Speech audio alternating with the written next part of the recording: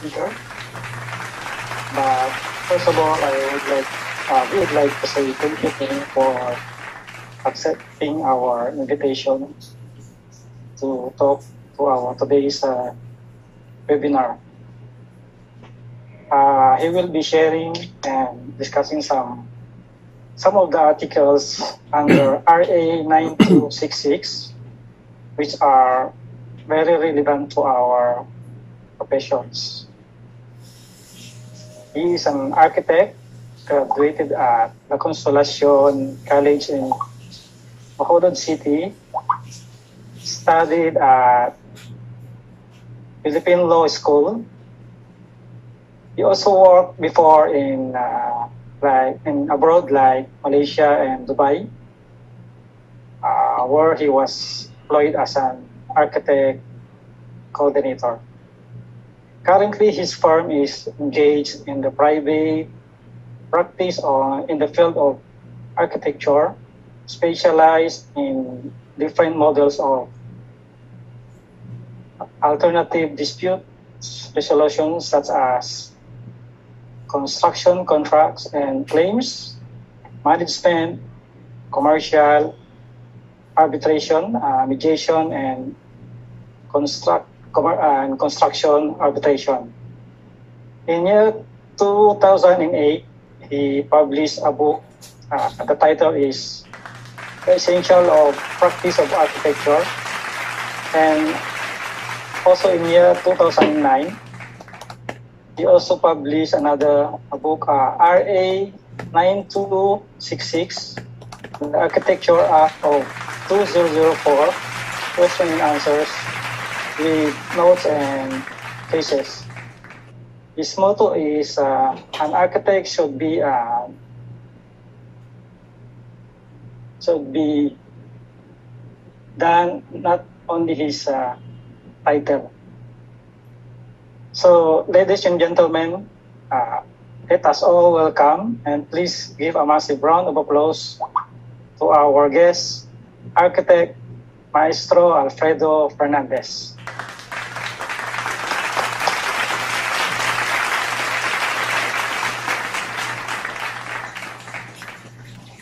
Hello, sir. Architect.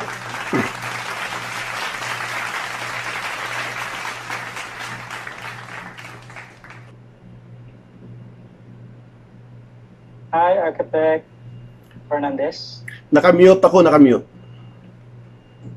Ah, naka-co-host na siya ha. Ayan, okay. So, naka, nakamute ako kanina. No, sorry. Hi, sir. Uh, welcome, sir. Okay, so, thank you for the uh, invitation. No? Meron pang, uh, meron pa namang natira. No? Nandyan pa naman sila, hindi pa naman sila umaalis. Okay?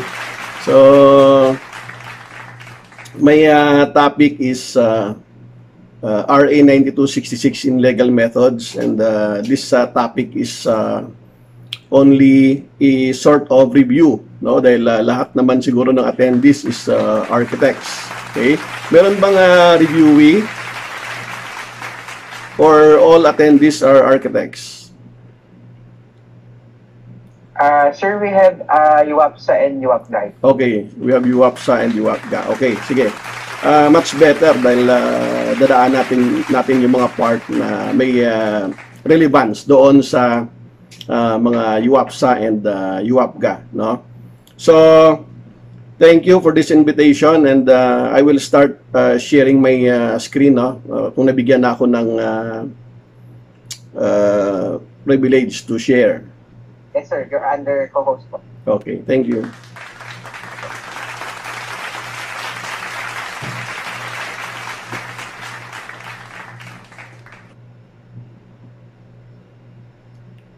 Okay, so first of all, uh, these are my uh, YouTube channel and these are my book, no? Uh, my book is uh, available at uh, any central bookstore nationwide. So sa SM Mega Mall, meron tayo sa fifth floor, sa Quezon Avenue, uh, sa Recto, sa may uh, Ever Gutesco, meron sa Cebu, meron sa Davao.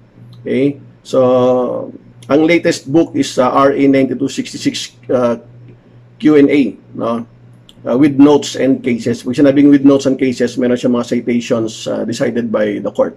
Okay, so uh, you can use it no for uh, reference no and uh, well sa YouTube channel ko marami na tayong nai-upload na mga uh, lectures no in uh, professional practice in uh, construction management and uh, dire-diretso pa okay so today is uh, the uh, webinar for uh, UAP Singapore. But uh, I believe uh, marami ring mga ibang chapters no na nandito ngayon sa ating uh, virtual classroom no. Marami ako nakikitang taga Legazpi no? meron ako nakikitang uh, I think may Aklan pa no and uh, Quezon City okay?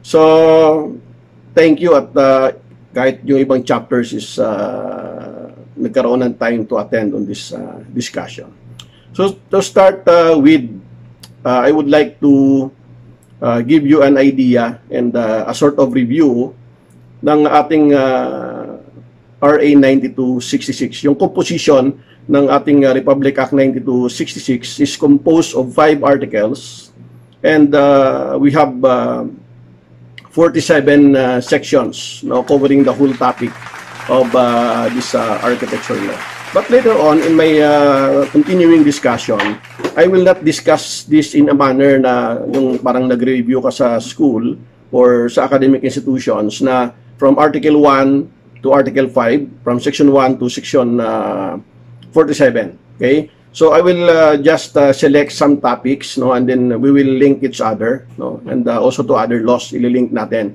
The way lawyers, the way uh, the legal profession uh, study no our uh, law no kasi napaka-importanting bagay na dapat na iintindihan natin kung paano natin itatahi-tahi doon sa ibang uh, laws ang ating architecture law no? and uh, we are not only reading it uh, by way of uh, memorizing from article 1 to article 5 from section 1 to section 7 so article 1 speaks of general provisions Article 2 uh, speaks of Professional uh, Regulatory Board of Architecture. Article 3, Examination, Registration, and Licensure. Article 4, it uh, focuses on the practice of uh, architecture. And uh, we have the uh, final uh, provisions. So, example, general provisions, hindi ko na yan uh, i-discuss ang mga uh, definition of terms. Okay? Uh, that is uh, understandable. Ibig sabihin, Uh, hindi dahil hindi ko diniscuss ay hindi siya importante. So kung hindi ko yan diniscuss dahil ibig sabihin siya ay uh, self-explanatory. Uh, okay? So I will just uh, touching topic which is critical to the practice of uh, every architects, no? The, the the need to know by our uh, students, by our graduate of architecture and uh, even the public. So yun yung pagiging uh, sequence ng ating uh, discussion uh, tonight. Okay? So our law uh, was passed in uh, 2004, signed by uh, the president, the, the past president uh, Joseph uh, Ejercito uh, Estrada. Okay, so sinasabi nila na ipasa na nga nung 2004, wala namang pangil yung RA 9266, no? Uh, little by little in our discussion, makikita natin kung paano natin lalagyan ng pangil ang ating uh, batas. Kasi ako uh, naniniwala na may pangil ang batas. Okay? Uh, nakikita natin walang pangil ang batas dahil tayo mismo mga arkitekto ay hindi naglalagay ng pangil sa ating batas no? Uh, we usually uh, wanted to uh, wait no? Na merong uh, magte-take action and then uh, magbe-benefit na lang tayo. But uh, all of us hindi tayo gumagalaw na paano natin tulungan na magkakaroon ng uh, pangil ang ating uh, batas. So I disagree with that opinion na sinasabi nilang walang pangil ang ating uh, Republic Act uh, 9266. So merong pangil ito and uh, ang makakapaglagay ng uh, bangis ng pangil ng ating RA 9266 is tayo mismong mga arkitekto at no other. Okay? So before we go on with the, the discussion on RA 9266, I want you to uh, learn muna kung ano ba ang meron sa RA 545 and what are those uh, things no? Na nagkaroon ng amendments no? Kasi kadal- karamihan siguro baka mamaya uh, ilang percent lang ang umabot sa RA 545 and the uh, majority ng attendees uh, ang naabutan is Republic Act 9266 and uh, usually in the uh, academic institutions hindi na binabalikan ng mga professors ang uh, history on what are those uh, included in uh, Republic Act 545 and what are those now in our RA 9266. So I selected some uh, provisions sa RA 545 na medyo kapareho niya doon sa uh, Republic Act 9266 as a uh, sort of uh, comparison. So ano yung makikita doon? In Article 59 of uh, Republic Act 545, in uh, the definition of terms and the additional qualification of applicants, in Article 59, uh, it speaks about our practice in RA 545. And in RA 545, it includes in our practice the uh, architectural and structural designing. Kaya kung makikita natin yung mga arkitekto na nabilong pa sa RA 545, no, uh, regulated pa ng Republic Act 545 during the time that uh, they took the uh, board examination, they are allowed to prepare sign and seal uh, architectural at the same time structural drawings, structural design analysis, and other structural uh, documents. Dahil malinaw sa ating uh, batas, Republic Act 545 noon, that it is part and the scope of practice ng uh, architects ang preparation ng architectural and structural uh, designing. Where in fact, in uh, RA 9266, pag binasa ninyo yung uh, uh, Article 1, Section 3, makikita natin doon, ang nakalagay na lang is architectural designing and structural conceptualization. So nawala sa atin ang uh, structural uh, design. Pinalitan ng structural conceptualization. Doon tayo ngayon na problema no because uh, some CEs are preparing architectural uh, drawings, sign and sealing architectural drawings, pero na-prohibit ang mga architects in the preparation of the structural design dahil talagang wala ka na makikita sa ating uh, RA 9266 that speaks that we are allowed to prepare signed and sealed structural document. So may mga naririnig nga ako nagsasabi na mas mabuti pa daw ibalik na lang dapat sa RE 545 dahil uh, kasama pa sa atin yung uh, structural designing. But you know, maraming nagpa-practice ng mga uh, sole practitioners ng mga architects. I'm I'm calling it sole practice no because uh, well, yung iba tinatawag nila as uh, we are single proprietorship. No, and uh, I disagree with that opinion dahil uh, we are not a proprietor of our uh, license. We are not the proprietor of our authority to practice. The proprietor of our license, the proprietor of our certificate of registration is the state. We are only given the benefit, we are only given the privilege to practice. Kaya nga, di ba, subject for revocation, subject for suspension, subject for uh, withdrawal, as long that there is a compliance with the due process of law uh, provided in the uh, 1987 uh, Constitution. So it is only a mere privilege. So ang the, the correct term dyan is dapat is uh, sole practitioner, no? not sole proprietorship because sole proprietorship is used only in businesses. No? And uh, as I am uh, telling uh, everyone, architecture is not a business but it is more on uh, service. No? Kaya nga dapat hindi tayo profit uh, oriented.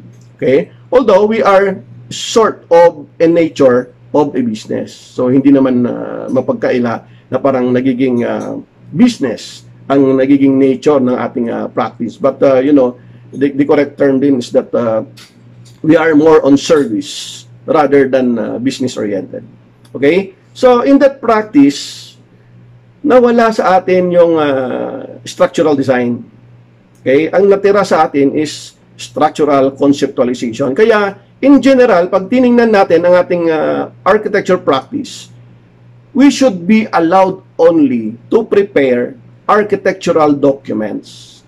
We are not even allowed to prepare uh, planning uh, plans. We are not even allowed to prepare electrical plans because we are encroaching with the practice of other professions. But uh, you can read in our uh, scope of practice of architectural layouting of mechanical, electrical, plumbing, and sanitary. So, ibig sabihin, we are only allowed in architectural layouting, but we are not allowed really to prepare architectural uh, documents that uh, that to encroach to encroach with the other uh, disciplines. No? So dapat nga is tayo ay nakafocus na lang din sa preparation ng architectural documents. But marami pa rin mga arkitekto na nagpa-practice ng DAEDs, no? na even yung uh, sole practitioners nag-prepare ng complete set of uh, working drawings and let uh, master plumbers, electrical engineers, structural engineers sign and seal.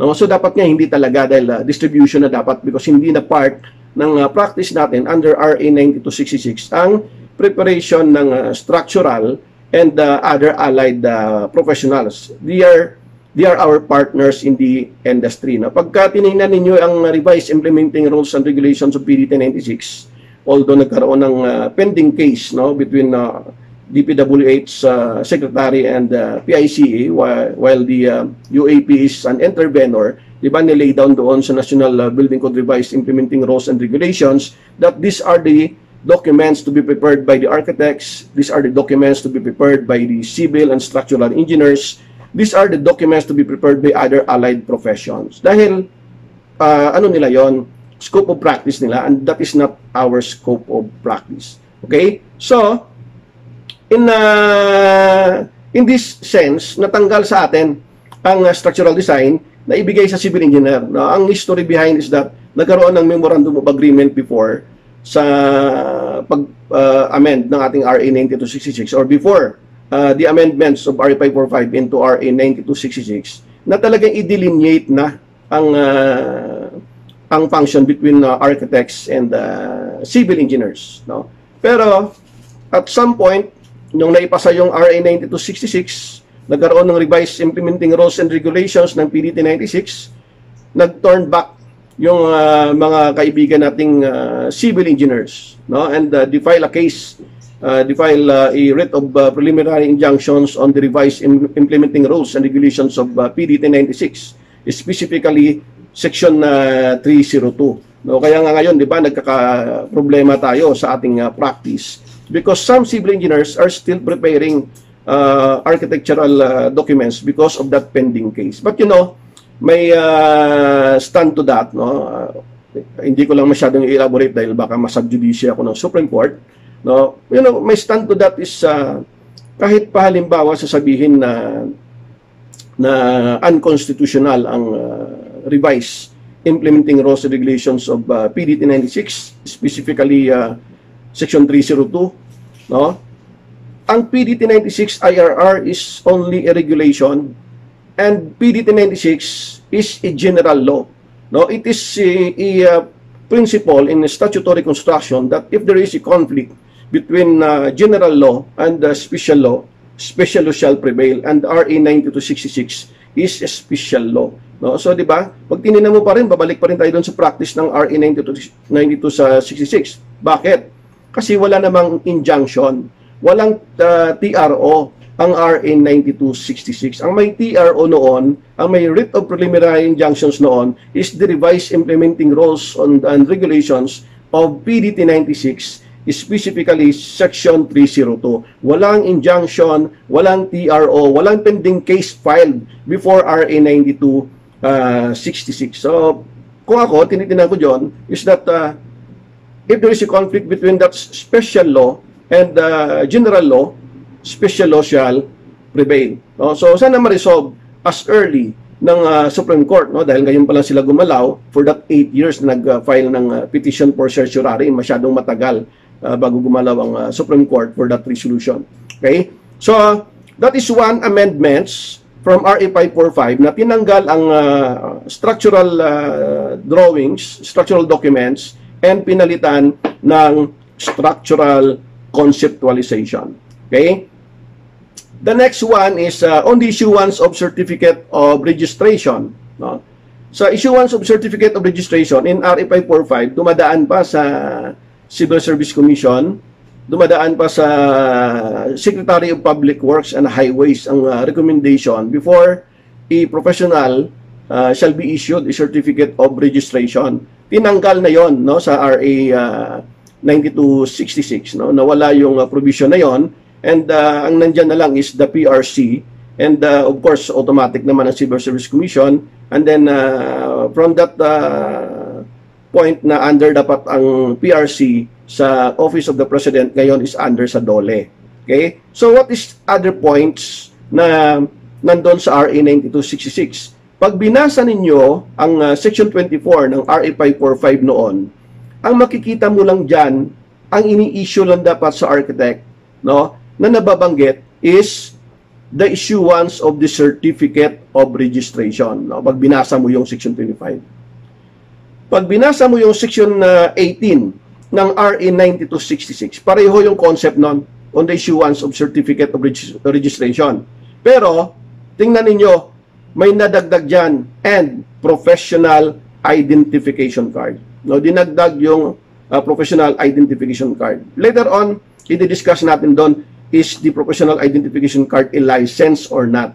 Okay? Kaya ko hina-highlight yan para makita natin ano ba yung mga uh, portions sa RA 545 nang nag-amend ang RA 9266 na nawala or uh, nagkaroon ng uh, addition sa RA 9266. Okay? So sa Section 18 nadagdag ang professional identification card. Wala yan sa Section 24 ng RA uh, 545. Okay? On the second paragraph of Section 18 of RA 9266, nakalagay doon, a professional identification card bearing the registration number, date issuance, expiry date, duly signed by the chairperson of the commission shall likewise be issued to every registrant who has paid for the corresponding fee. Pag binasa ninyo yung, uh, da, yung provision na yan ng 9266, parang lumalabas mandatory ang uh, issuance ng uh, PRCID. No, but later on, I want to show to you that the issuance of PRCID is not mandatory. It is only optional to be issued to the uh, professionals. Okay? Next is in uh, RA 545 sa registration ng architects required. Sa RA 545 kasi, bakit nabibigyan ang mga civil engineers to prepare uh, sign and sealed architectural documents before? Dahil malinaw yan sa Section 12 ng RA 545 that except in, the, in this last case, when he is a duly registered civil engineer or use the title architect, doon pa lang sila pwedeng mag-sign and seal. No, kasi nung uh, nag uh, naman yung history natin, mas marami sa atin ng mga civil engineers. No, kakaunti lang yung mga arkitekto nung uh, 1950s, no, 1960s, 70s, kakaunti lang. So ang uh, history beyond is that pag walang arkitekto sa lugar, saka pa lang dapat pwedeng mag-sign uh, and seal, saka pa lang pwedeng mag-prepare ng uh, architectural documents ang isang civil engineer. Kaya pag tiningnan natin, pag binasa natin yung section 12 ng RA 545, malinaw dyan ang word na except in the last case. Ibig sabihin, sa huling pamamaraan na kung walang arkitekto sa lugar, binibigyan ng pahintulot ang mga civil engineers to prepare, sign and sealed architectural documents. Okay, ngayon, pag tiningnan natin ang section 25, wala na ang word na civil engineer. Tinanggal na ang word na civil engineer. Kaya nga hindi sila dapat pwedeng mag-practice ng architecture kasi malinaw naman na ang binigay na privilege, ang binigay na benefit sa kanila nung uh, tayo ay nasa RA 545, Section 12, tinanggal na ang word na civil engineer. Walang-wala na talaga yon. Kaya nga, hindi na talaga dapat sila pwedeng mag-prepare ng architectural documents dahil wala na silang privilege under RA 9266. Okay? And again, in uh, Section 25 of uh, RA 9266, sa issuance ng Certificate of Registration, dinagdag na naman uli ang issued a professional identification card. Okay? So, yun, yun yung mga palaging na-highlight dito, no? yung pag-provide ng uh, professional identification uh, card na parang lumalabas na parang mandatory No, but uh, later on I will show you na bakit uh, hindi siya mandatory. Okay? And then uh, we have also these uh, prohibitions in the practice of architecture, no? Ang nagbago lang sa prohibitions in the practice of architecture, nilinaw ang uh, nilagay na fine, no, yung penalty, no? Nilinaw sa RA 9266, section 29 and wala 'yon sa section 30 ng RA 545. And ini-emphasize pa rin yung pagdagdag ng word sa pag-issue ng Certificate of Registration slash Professional identification card. Okay? So, yun yung highlighted uh, provisions no, on the comparative analysis between RA 545 and RA 9266. The rest of the provisions of RA 545 na wala doon sa provisions ng RA 9266, deleted yon. Okay? Yung ibang portion na nandun sa, sa section na 34, section na 35, copycat yon doon sa RA uh, 545. Okay? So, yon ang uh, comparative analysis. And now we will uh, go with the, the provisions of RA 9266. Okay? So we will start with the uh, introduction. Okay? Saan ba nanggaling ang ating uh, batas? Okay? First of all, ang mga references, no, or yung mga pinagkuhanan ng mga provisions is ito yon. Okay? Number one, 1987 Constitution. Napaka-importante, no? Mamaya makikita natin bakit 1987 Constitution. Saan sa 1987 Constitution, okay? And then we have uh, RA 89 uh, 8981, the uh, PRC Modernization Act of 2000. Bakit? Ang nagre-regulate ng issuance ng ating Certificate of Registration, ang nag-regulate ng ating uh, authority to practice is RA 8981, no? And not on RA 9266. And then, uh, previously, RA 8981 is PD 223, no? Presidential Decree 223. Yun yung old PRC law.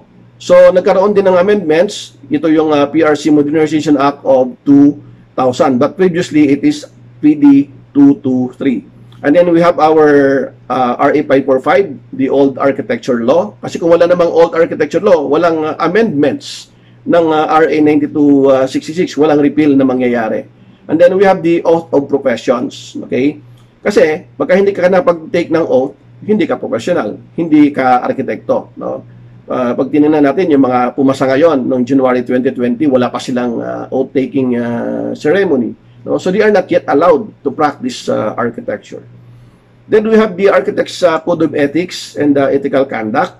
And uh, we have also our uh, Architects Credo. Then we have uh, PRC resolutions, the uh, PR BOA resolutions, the Civil Code of the Philippines. Uh, that is one of the sources of the practice of architecture. Bakit? Liabilities. Saan makikita? Civil Code of the Philippines. Obligations and contracts. Civil Code of the Philippines. Then we have the revised penal code. Okay? One sources of the practice of architecture. Bakit? Saan nakikita yung penalties? Saan nakikita yung mga cases of uh, immorality, uh, malpractices, nasa revised penal code. Then we have the civil service rules, no? Uh, those who are employed in the uh, government uh, service.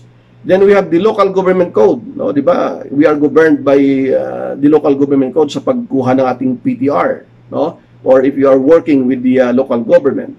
Then uh, we have the Corporation Code of the Philippines, no? Ngayon meron tayong uh, bagong Corporation Code of uh, 2019, no? Dalaan natin mamaya. And then uh, the writing of scholars and authors, and we have the Supreme Court jurisprudence and other borrowed legislation. So those are the sources of the practice of architecture. Now we'll start with the uh, Constitution. Ano ang pinaka-importante na provision sa Constitution that relates to the practice of our profession. Ito, yung uh, Section 14, number 2 of Article 12 of the 1987 Constitution which provides that the practice of all professions in the Philippines shall be limited only to Filipino citizens. Mayroon lang kulatilya. No? Ang sinabi doon sa uh, later portion ng batas, save in cases prescribed by law. Okay? Unless, sabi ng, uh, ng Constitution, unless mayroong batas na nagsasabi na pwede ang uh, citizens of the foreign country mag-practice ng uh, architecture sa Pilipinas. Example, yung uh, ASEAN ngayon. Okay? Uh, yung uh, APEC. Okay? And uh, reciprocity. Okay? So covers yon sa save in cases provided by law ang uh, reciprocity agreement. So, later on, meron akong kasong uh, ikikwento regarding sa reciprocity uh, agreement. Okay?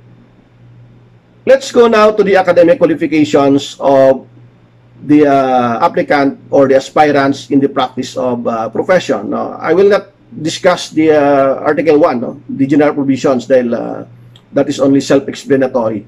No, I will just highlight some portions in every article. Okay? So, let us uh, first discuss the academic qualification. The first academic qualification is that you must be a Filipino citizen or a citizen of a foreign country qualified to take the examination. So, citizen of a foreign country allowed to take the examination. In what manner? Later on, i-discuss ko yung isang kaso kung bakit allowed uh, na mag-take ng examination ang citizen of a foreign country. Number two, or letter B, that you have good moral character. So ano ba yung good moral character? Later on, i-discuss din natin yan. And then of course, you comply with the uh, equivalent two years diversified training. Take note of the wordings of the law. Ang sinasabi ng wordings of the law is that you must have equivalent of two years. Although, in our revised, uh, in our IRR, nakalagay doon yung uh, 3,840 hours. But uh, in my view, that is not specific only to 3,840 hours. Kasi sinasabi ng batas natin, at least equivalent to two years diversified training. But that diversified training should not be uh, close to that uh, two years. No? Kasi ang pang point dapat dyan is, in your two years of diversified training, pag nakikita mo no, sa mga aspirants natin, pag nakikita nila na two years na nga, pero hindi pa naman sila talagang uh, nafe-feel nila that they are not yet enough. No? Yung experience nila is not yet enough for them no to practice uh, architecture solely no after passing the licensure exam dapat wag mo nang uh, pilitin na kumuha ng uh, licensure examination but what happens right now is that pagdating ng 2 years o 2 years na ako no mag-apply na ako for uh, the board exam but sometimes hindi na cover yung uh, lahat ng aspeto ng uh, diversified uh, training no so yung isa requirements natin and then of course that is counted for 2 years unless meron kang master's degree and your master's degree is equivalent to 1 year diversified training. Basic na basic ang uh, qualifications. And the last one is you must not be convicted of any uh, criminal offense involving moral turpitude. Okay? Saan makikita yung moral turpitude? Nasa revised penal code. No? Uh, deceit, no? Yung estafa that is uh, considered a, a crimes involving moral turpitude, no? Ngayon, dito sa mga nababanggit, yung letter D na yan is, ang malinaw na sinasabi ng batas, convicted ka any criminal offense involving moral turpitude. Ibig sabihin, kung tumatakbo pa yung kaso mo, and there is no yet uh, final decision from the court, allowed ka mag-take ng licensure examination. Pero pagka ikaw ay nagkaroon ng final judgment and you are guilty then you are not allowed already to take the examination because you are already convicted of the crimes involving moral turpitude. Nawawalan ka na ng isang qualification doon sa uh, academic qualification prescribed by law. Okay? So, in comparison to the qualifications of an aspirants and to the qualification of the member of the board, ang nawawala na naman sa member of the board is that hindi pwedeng maging member of the board ang a citizen of a foreign country. Only a citizen and resident of the Philippines. Hindi rin pwedeng nakatira ka sa abroad. Kailangan you are a citizen and a resident of the Philippines. Wala na dyan ang a citizen of a foreign uh, country. And then, of course, active practitioner. And uh, nag-stop uh, ka ng uh, teaching no? Or uh, stop uh, reviewing for the last uh, five years no? So hindi pwede. Yun yung qualifications doon sa member of the board na uh, critical uh, areas now we will go with the uh, case of uh, Yasuyuki Ota and uh, after that we will go with the diversified training okay these are the case of Yasuyuki Ota Si Yasuyuko Ota is a Japanese national. Yung kwento niya is, is a Japanese national. Nagpunta ng Pilipinas, okay? And uh, tumira sa Pilipinas for a period of 10 years. nag-aral ng medisina sa Bicol Christian University. And then, nag-graduate sa Bicol Christian University. Nung mag-graduate, nag-apply for board examination. Ito yung lapses ng PRC. No? Nung mag-apply for the board examination, nag-grant. So ngayon, nung nag-grant, syempre, nag-exam, pumasa. Nung pumasa, si Yasuhiko Ota nag-apply sa PRC for registration and to take an oath. Doon ngayon hinarang ng Professional Regulation Commission. Sinasabi ng uh, PRC, hindi ka pwede mag-register, uh, hindi ka pwedeng mag-take uh, ng oath because you are a foreign national. Walang reciprocity agreement ang Pilipinas sa government of Japan. Umakyat hanggang sa Supreme Court. Ano sabi ng Supreme Court? No? OTA can practice medicine in the Philippines. Nowhere in said statute, doon sa law of medicine, nowhere in uh, said statute stated that the foreign applicant must show the conditions of practice of medicine in said country are practical and attainable by Filipinos. It is enough that the laws of a foreign country permit a Filipino to get a license and practice therein. Thus, uh, since OTA has all the qualifications and does not possess any of the disqualifications, he can practice medicine in the Philippines. Ang sabi ng Supreme Court, as long na hindi na prohibit ang uh, Filipino to practice in Japan, that is considered as reciprocity. Hindi kailangan ng written document, hindi kailangan ng written agreement between government of Japan and government of the Republic of the Philippines sa tinatawag na reciprocity. As long na allowed ng Filipinos, that is considered as reciprocity. That is one classic example ng qualifications doon sa letter A, sa qualifications ng applicant for examination that a citizen of a foreign country is qualified to take the examination in the Republic of the Philippines. Okay, classic uh, ano yan, classic uh, case, no? That was only decided in uh, July 14, 2008 no? medyo fresh pa, no? isang uh, dekada. Okay? So yon, that is uh, example of reciprocity. Now let's go with the apprenticeship. No? Kasi critical din ito sa mga arkitekto, critical din sa mga UAPGA, critical din sa mga students. Okay? In the time of uh, Architect Cesar Cancela as the chairman of the Board of Architecture, itong kagandahan na ginawa ni Cesar Cancela, no? nung time na siya yung chairman of the board, mayroon siyang uh, resolution, no? And yung uh, resolution ni Cesar Cancela na lahat ng arkitekto kailangan mag-render ng mentorship. Okay? Mag-render ng mentorship required in a minimum of 4 months. Okay? Minimum of 4 months. Nawawala ngayon ang uh, provision na to sa bagong uh, resolution. No? Kaya pag nakikita natin, ang mga graduates natin, ang mga students natin paglabas ng uh, institution kung saan-saan na napapadpad, no? Hindi na sila na lalagyan ng uh, barrier na dapat sa architectural firm ka lang, no? Tingnan mo ngayon kung saan-saan na pupunta, developer, no? Uh, minsan yung iba is talagang nagpa-practice pa solely, no, without a license. The rest is uh, working in uh, corporations. No? Later on, titingnan natin kung pwede silang pumirma pag nasa korporasyon. No? So, ito ay nawawala ngayon sa panahong ito. Pero sa time ni Architect Cesar Cancela, sinasabi doon, every year, dapat mayroong mentorship ang isang arkitekto for a minimum of 4 months in every aspirants, a minimum of one aspirants. Okay? So, nawawala to ngayon, sana maibalik, no?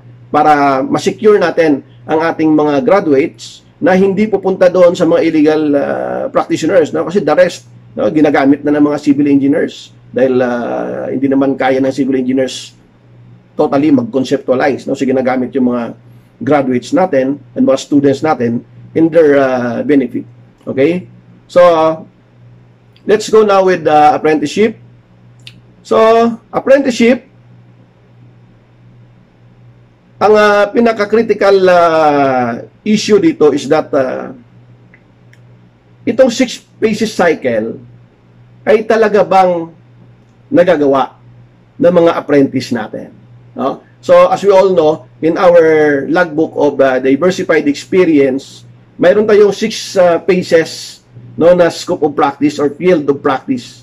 We have the architectural designing, drafting, structural conceptualization, preparation of contract documents, technical economic uh, feasibility studies, uh, interior, architectural interiors, uh, field superintendents, project management, etc. So yung lahat ba na 6 pieces cycle na yan ay naibibigay ng mentor sa isang apprentice. No? Kasi mayroon ako mga kakilala na 2 years as CAD operator pero na-certify ng mentor. No? Nakapag-take ng board exam, na-certify ng mentor na nakumpleto ang 6 phases cycle. So what happened? No? So nawawala tayo doon sa tamang direction. Sinasabi nga natin, hindi na i-implement ang RA 9266. Oh, this uh, diversified training is part of the provisions of RA 9266 as, as uh, qualification of an applicant for examination. So pag pinirmahan natin at dinaya natin yung logbook, hindi ba tayo rin yung mga arkitekto ang hindi mismo nag-implement ng sarili nating batas? No? So, critical areas itong uh, logbook no na dapat ay uh, na na-filled up in truth. No? Kasi ito yung question diyan talaga bang na-filled up in truth or na-filled up by false misrepresentation? Ibig sabihin dinadaya. No? Dinadaya. Ngayon pagka dinaya natin yung uh, logbook na yan ano ang ating magiging liabilities? Okay? Sa mga mentors sa mga architects no? and even uh, sa mga students na nanonood ngayon and graduate of architecture, ang first page ng logbook na makikita natin dyan is affidavit. Okay? And yung affidavit na yan, nakalagay dyan na nangangako ka na lahat ng nakasulat sa logbook na yan ay lahat pawang katotohanan lamang. Yan ang pinipirmahan nyo dyan, mga mentor. No? Baka kasi sinasabi nyo, uh, document lang yan. Take note, once na pumasok ito sa Office of the Professional Regulation Commission, this will become a public documents. Okay? And, mayroong notary public. Di ba? Nagkalagay dyan, subscribe and sworn to before me. Nangako ako no, sa notaryo publiko na lahat na nakasulat sa logbook na yan ay lahat nangyari, lahat totoo at walang kasinungalingan. Yun ang ibig sabihin ng logbook of diversified experience sa affidavit. Okay? And once pinirmahan niya ng mentor and hindi totoo ang nakalagay diyan and later on may nag-file ng complaint against you no na, na pinirmahan mo yan na hindi naman lahat is nakalagay diyan you will be charged of perjury.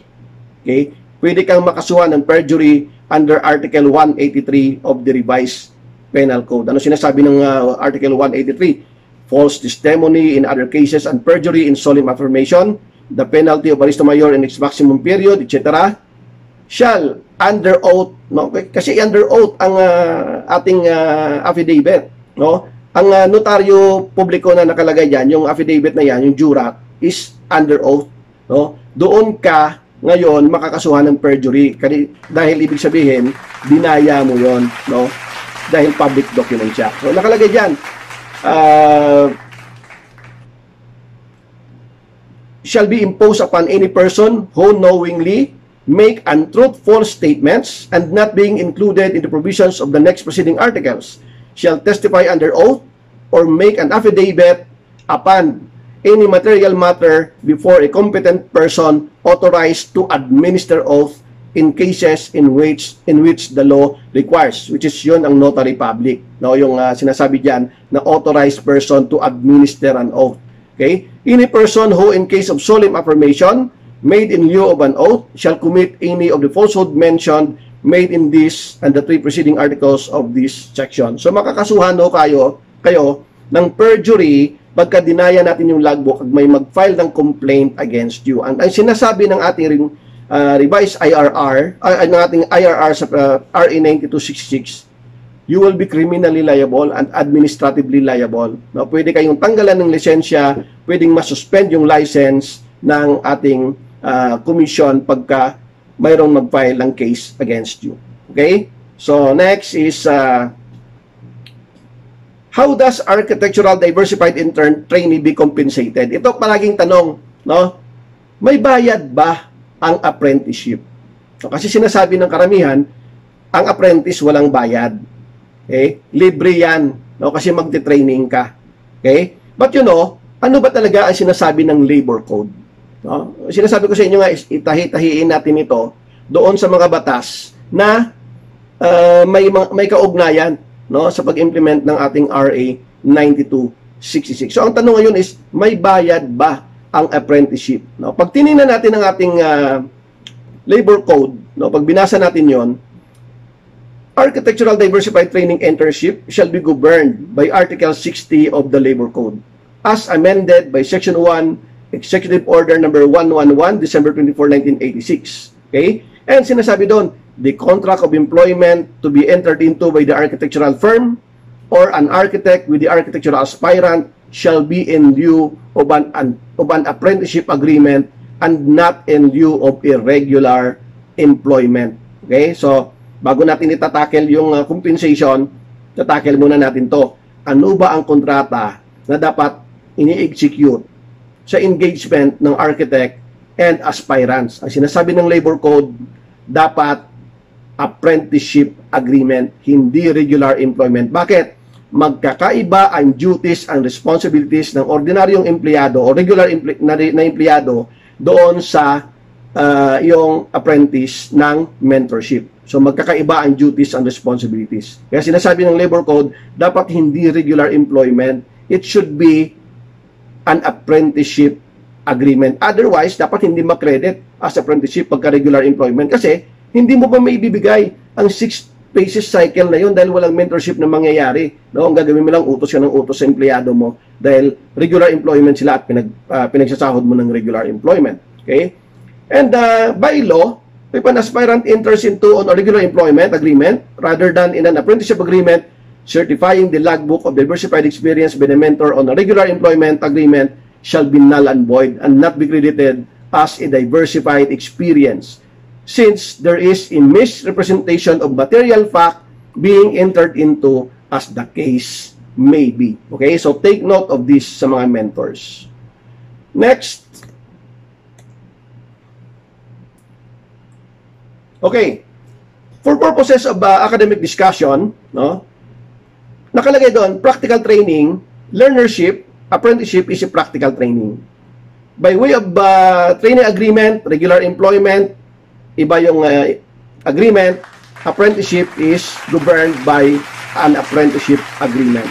But they are both uh, occupations. Okay? So, ngayon, alam na natin kung ano dapat ang kontrata na na ipoprovide sa ating mga aspirants, no, sa ating mga apprentice. Dito na tayo ngayon sa may bayad ba ang apprenticeship? Dapat ba silang may sweldo? Ano ang sinasabi ng labor code? Okay? Sinasabi ng labor code, no, the general rule is that the wage rate provided for by the labor code on apprenticeship agreement and learners is set at 75% of the statutory minimum wage of that of irregular employment. Nasa section 29 ng rule 5 ng book 2 of the labor code yan na ang sweldo dapat ng apprentice, ang sweldo ng OJT, ang sweldo ng learnership 75% ng sweldo ng regular employment. Okay? So, hope malinaw, no? Sa mga architects, sa mentors, no? Na hindi libre ang sinasabi ng labor code. Pero ito ngayon, no? Paano ba pwedeng maglibre ang uh, apprenticeship uh, mentoring na yan? Okay? As a general rule, 75% ang sweldo ng apprentice ng regular na empleyado. Pero, sinasabi rin sa labor code na the Secretary of Labor and Employment may authorize the hiring of apprentice without compensation whose training on the job is required by the, by the school or training program curriculum or as requisite for graduation or board examination.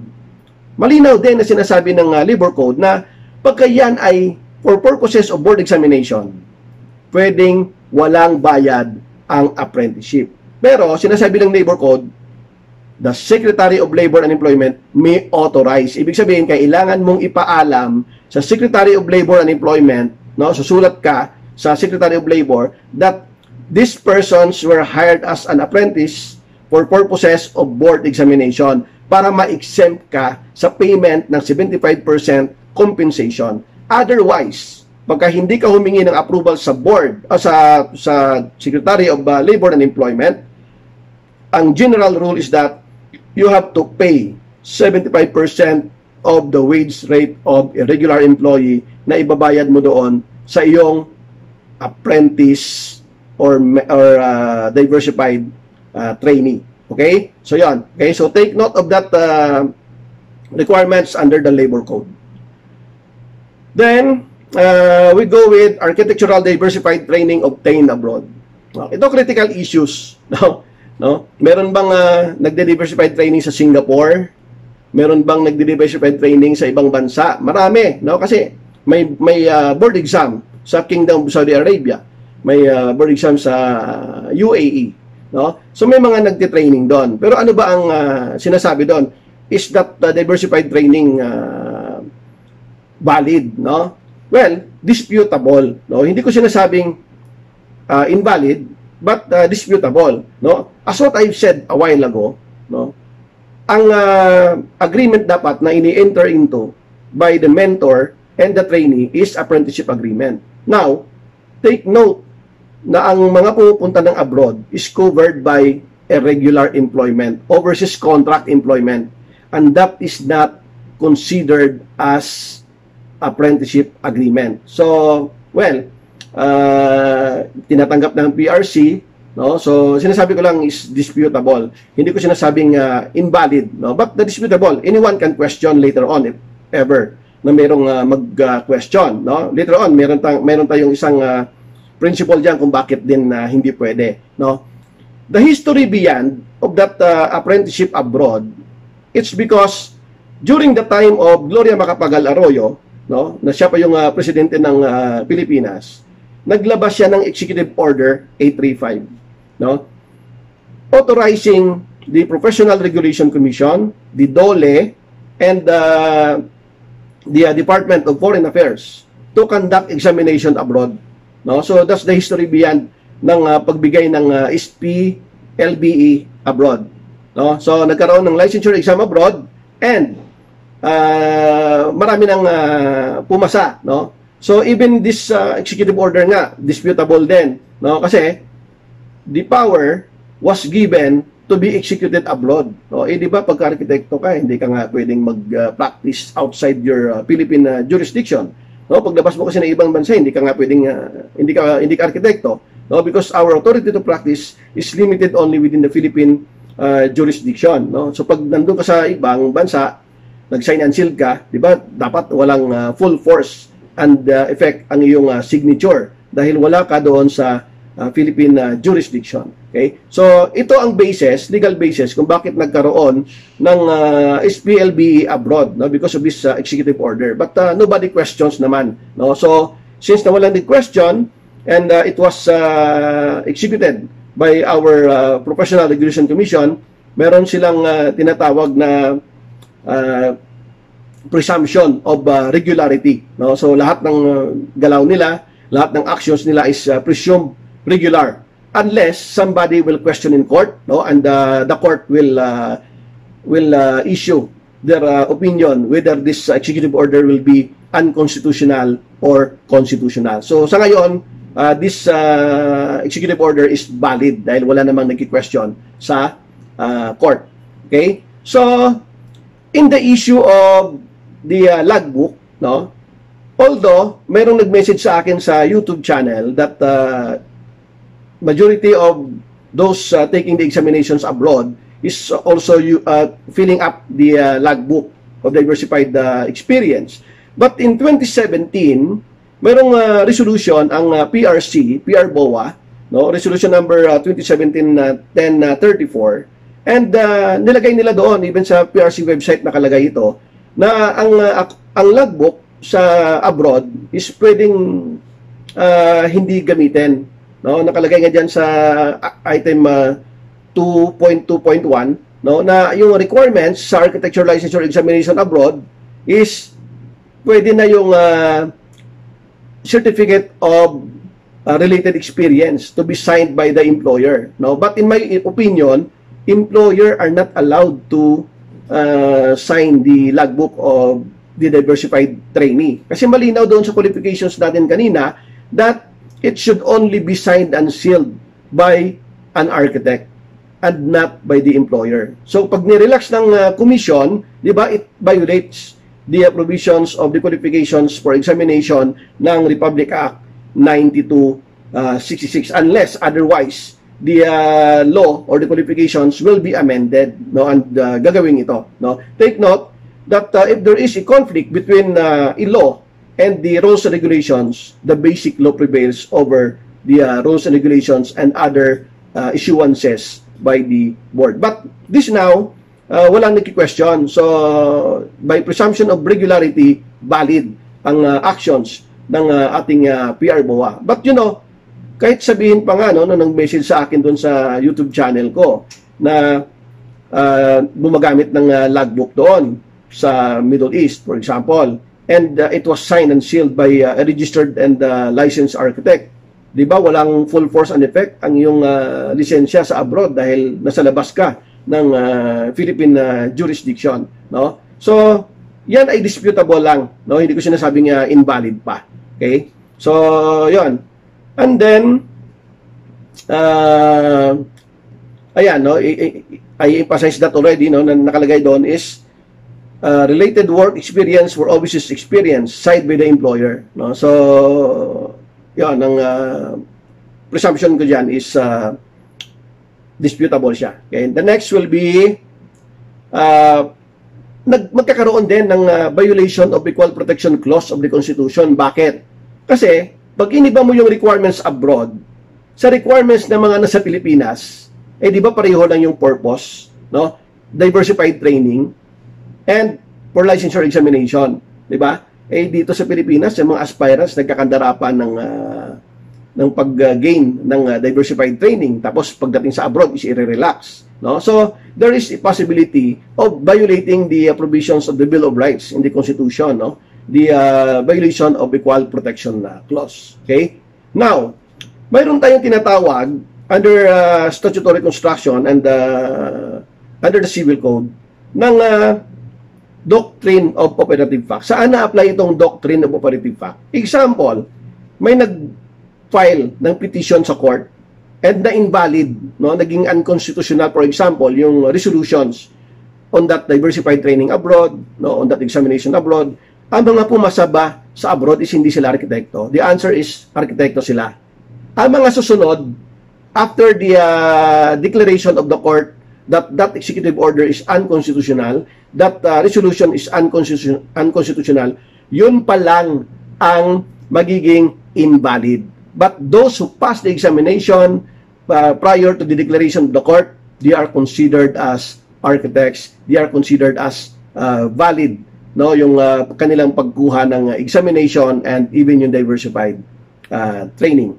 Okay? So yon now uh, Let us go now to the practice of architecture. This is the uh, main focal point of our law, the practice of architecture. Section 25 of RA 9266 says that no person shall practice architecture in this country or engage in preparing architectural plans, specification, or preliminary data for the erection or alteration of any building located within the boundaries of the country or use the title architect. Wala tayong problema dyan. Self-explanatory. Okay? Pero itong dugtong na nakadilaw, nakalagay doon, prohibited or display or use any title. Anong any title? Kahit hindi ka gumagamit ng word na arkitekto, pero mayroon kang uh, ginagamit na any title, no? Like for example, architectural designer, no? That is prohibited. Bakit? Tingnan niyo yung kadugtong.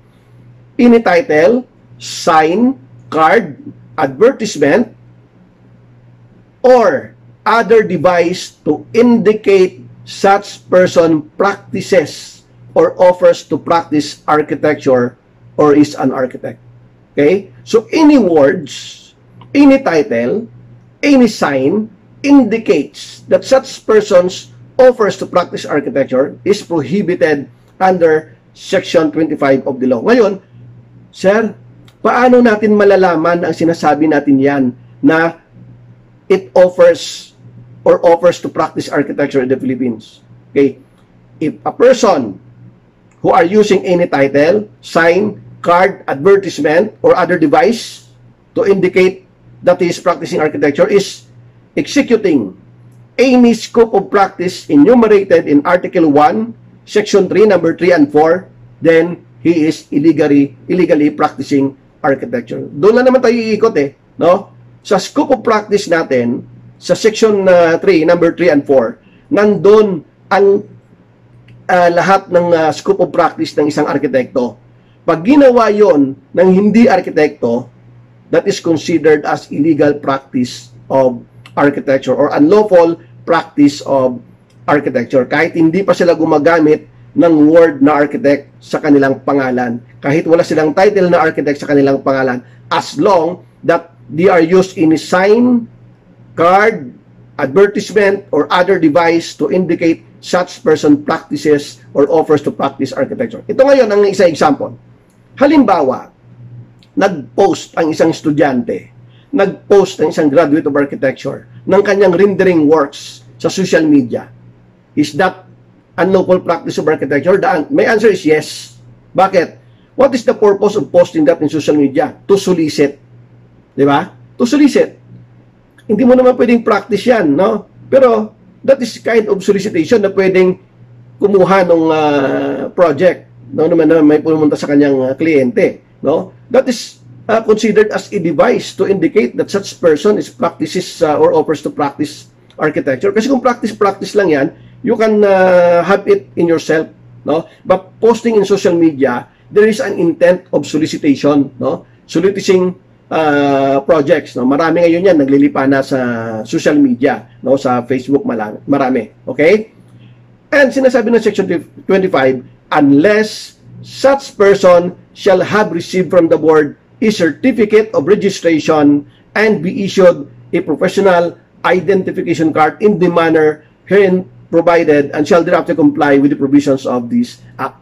In RA 545, wala itong uh, issuance of PRC ID. No? Ang pinaka-importante kasi dito is the issuance of the certificate of uh, registration. So, yun ang malinaw na sinasabi ng Section 25. No? Ano yung practice ng architecture and sino ang prohibited to practice architecture to prepare uh, scope of practice of architecture enumerated in Article 1, Section 3, Number 3 and 4 of RA 9266. Okay, so you have to link this uh, Section 25 in uh, Article 1, Section 3, Number 3 and 4. Kasi doon lang tayo babalik kung lahat ng nandoon ay ginagawa ng mga uh, those non-architect, they are already prohibited uh, according to Section 25 of our law. Okay? And of course, this section 25, section uh, 25, hindi mangyayari pag wala kang compliance sa uh, Article 3, Section 12, examination.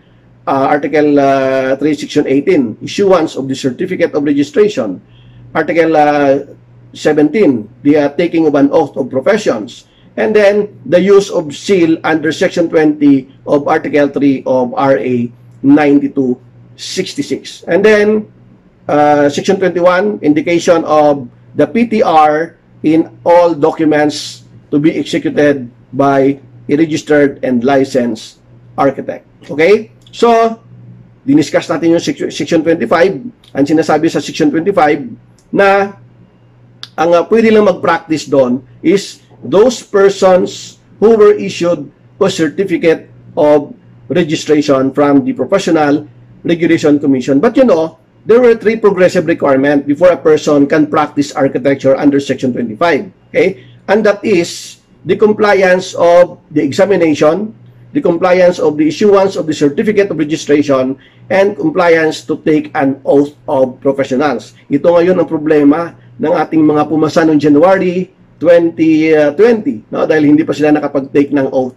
Naunahan pa ng uh, pumasa sa bar exam sa Supreme Court no na nung May lang na release yung uh, exam nakapag-take ng oath na abogado no pero ang ating mga uh, kaibigan ng mga baguhang uh, arkitekto sa profession, January pa pumasa. No, hanggang ngayon naghihingahos dahil wala pang aksyon ang ating uh, PRC kung kailan ang kanilang uh, taking of an oath. No? So napaka-importante kasi pagka hindi ka nag-take ng oath, you are not a full-fledged architect. You are not yet allowed to practice the architecture profession. So yung pinaka-importante dito yung dalawa, no? Taking an oath and the issuance of certificate of uh, registration. Kasi yun ang requirements, di ba? You have to pass the exam, you have to take an oath of professions, and you were issued a certificate of registration. Take note ha, ang sinasabi ng batas, you have to pass the licensure exam. Hindi sinasabi ng batas, ng batas na you have to take the licensure exam kasi maraming uh, baka yung iba maraming take, no? One to sawa na yung pag-take ng licensure exam. That is not the one na uh, provided by the law. No, you have to pass the licensure exam. Okay. Now, napaka-critical issue din ang pag-take ng oath. Kasi, 'di ba, pag tiningnan natin ngayon, sinasabi ko, yung mga pumapasa sa board exam natin noong uh, January 2020 hanggang ngayon hindi pa nakapag-take ng oath and they are not allowed to practice architecture profession pagka hindi sila nakapag-take ng oath. okay? But, uh, pag-uusapan natin, ano ba kasi ang oath of profession? Bakit kailangan na kailangan ito before you can practice the architecture profession? Okay? So, sa mga bagong pasa, kung nandyan ban kayo, sa UAPGA, no? dapat malaman nyo to. Okay? So, these are the oath of professionals. Ito yung nire-recite natin pagka tayo ay mag-oath taking. Okay? Ang sinasabi diyan is, I, Juan de la Cruz of Manila, hereby solemnly swear that I will support and defend the Constitution of the Philippines, that I will bear true faith and allegiance to the same, that I will obey the laws, legal orders, and executive order promulgated by duly constituted authorities of the Republic of the Philippines, and that I impose this obligation upon myself voluntarily without mental reservation or purpose of evasion. So ano ang ibig sabihin ng first paragraph ng oath of profession? Ang first paragraph ng oath of professions is an oath of allegiance and obeying the laws of the Republic of the Philippines. Meron nga tayong oath of allegiance, no? pero pag nagkaroon tayo ng opportunity abroad, no? iwanan natin ang Pilipinas. So wala tayong oath of allegiance pagka ganyan. Okay? The second uh, paragraph of the uh, oath of professionals says that I solemnly swear that at all times and places I will adhere closely to the ethical standards and professional rules generally accepted by the architecture professions in the Philippines, and that I will faithfully discharge to the best of my ability the duties and obligations in incumbent upon legally authorized architect practitioner. So help me God. No? Sinabi mo pa sa may kapal, no? Tulungan niyo po ako, Panginoon. No? Pero you are still continuing violating the code of uh, ethical conduct. No? You are violating the laws of the uh, Republic of the Philippines. No? Sabi nila, itong auto professions kasi is only a mere ceremony. No? And uh, sabi nila, wala yan. Magtapos siya mag-recite, wala na yan. But you know, no, in the legal practice, ito yung pinakamabilis magtanggal ng lisensya pag sinight itong uh, sa complaint, no, pag sinight itong you violate the of professionals, tanggal ang lisensya mo. No, ito yung pinakamabilis magtanggal and not the specific uh, uh, allegations, okay? So ano ba itong of professionals? Of professionals is not only a mere ceremony. No, it is a sacred trust to which all professionals have subscribed themselves to the pursuit of the profession. It is not a mere ceremony or formality for practicing a profession to be forgotten afterwards, nor is it a mere words, drift and hollow, but a secret trust that a professionals must uphold and keep inviolable at all times. Malinaw yan, no? sinabi ng Supreme Court, no? that it is a secret trust that a professionals must uphold and keep inviolable at all times. Sinabi ng Supreme Court yan sa case ni Ting Dumali versus Torres 427 SCRA 108. Next, nag-exam ka na, pumasa ka, nakapag-take ka na ng oath, ano ngayon ang privileges ng isang architect in passing the licensure uh, examination. Okay? ang uh, privilege ng isang architect is that he or she can practice architecture profession within the boundary of Philippine territory. Architect, pwede ba ako mag-practice ng profession ko doon sa West Philippine Sea? The answer is yes. Hindi naman natin dininay ang West Philippine Sea that, is, that it is already uh, belongs to the uh, to, to China no so you can uh, kung hindi ka itataboy ng mga Chinese uh, soldiers doon but we are allowed because that is uh, still part of the uh, Philippine territory okay and then uh, he or she can sign and seal architectural documents prepared by him or under his direct supervision and he or she can collect professional fee to the services rendered he or she can perform services enumerated under Article 1, Section 3 of RA 9266. And he or she can avail the privileges, privileges provided for by the integrated and accredited professional organization of architects or the IAPOA. Okay, babalikan ko lang ang uh, number 2. No? Kasi sa number 2, dito ang pinaka-common violations ng mga architects. No? na nagkaroon ng mga uh, misunderstanding no, or misinterpretation of the law. No? Dito kasi nakalagay, he or she can sign and seal architectural documents prepared by him or under his direct supervision. Okay.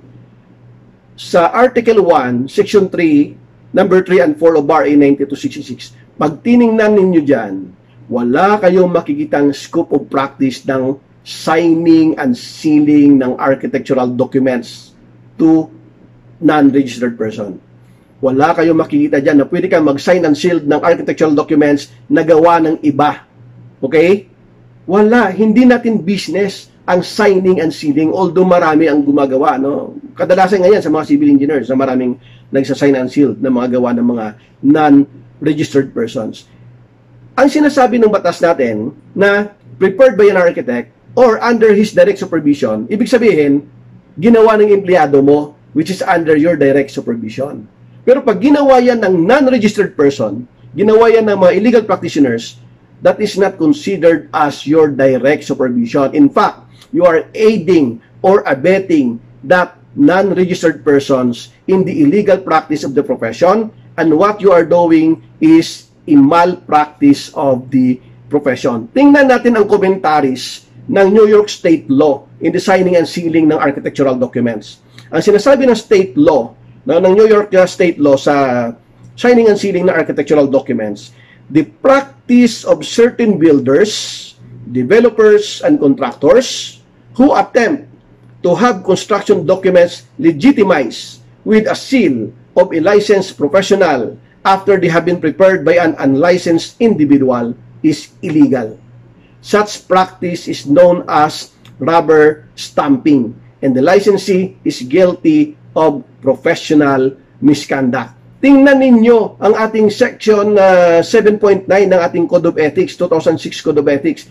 Malinaw na malinaw din na nakalagay, an architect shall not affix his or her signature and seal to any plans or professional documents prepared by other persons or entities and not done under his or her direct supervision. So wala ho tayong business ng signing and sealing. Ang pwede lang ho natin permahan ang sarili nating gawa or gawa ng ating staff, gawa ng ating uh, CAD operators na employed sa office. Okay? Na sarili nating project, sa atin pumasok ang transaction. Pero pag yan ay personal uh, transaction ng isang illegal practitioners and you sign and seal, then you violate 7.9 ng ating 2006 Code of Ethics and you are engaging in the malpractice and you are aiding or abetting that non-registered person in the illegal practice of the architecture profession. So take note of this kasi pwede kang matanggalan ng lisensya if somebody will file a case against you.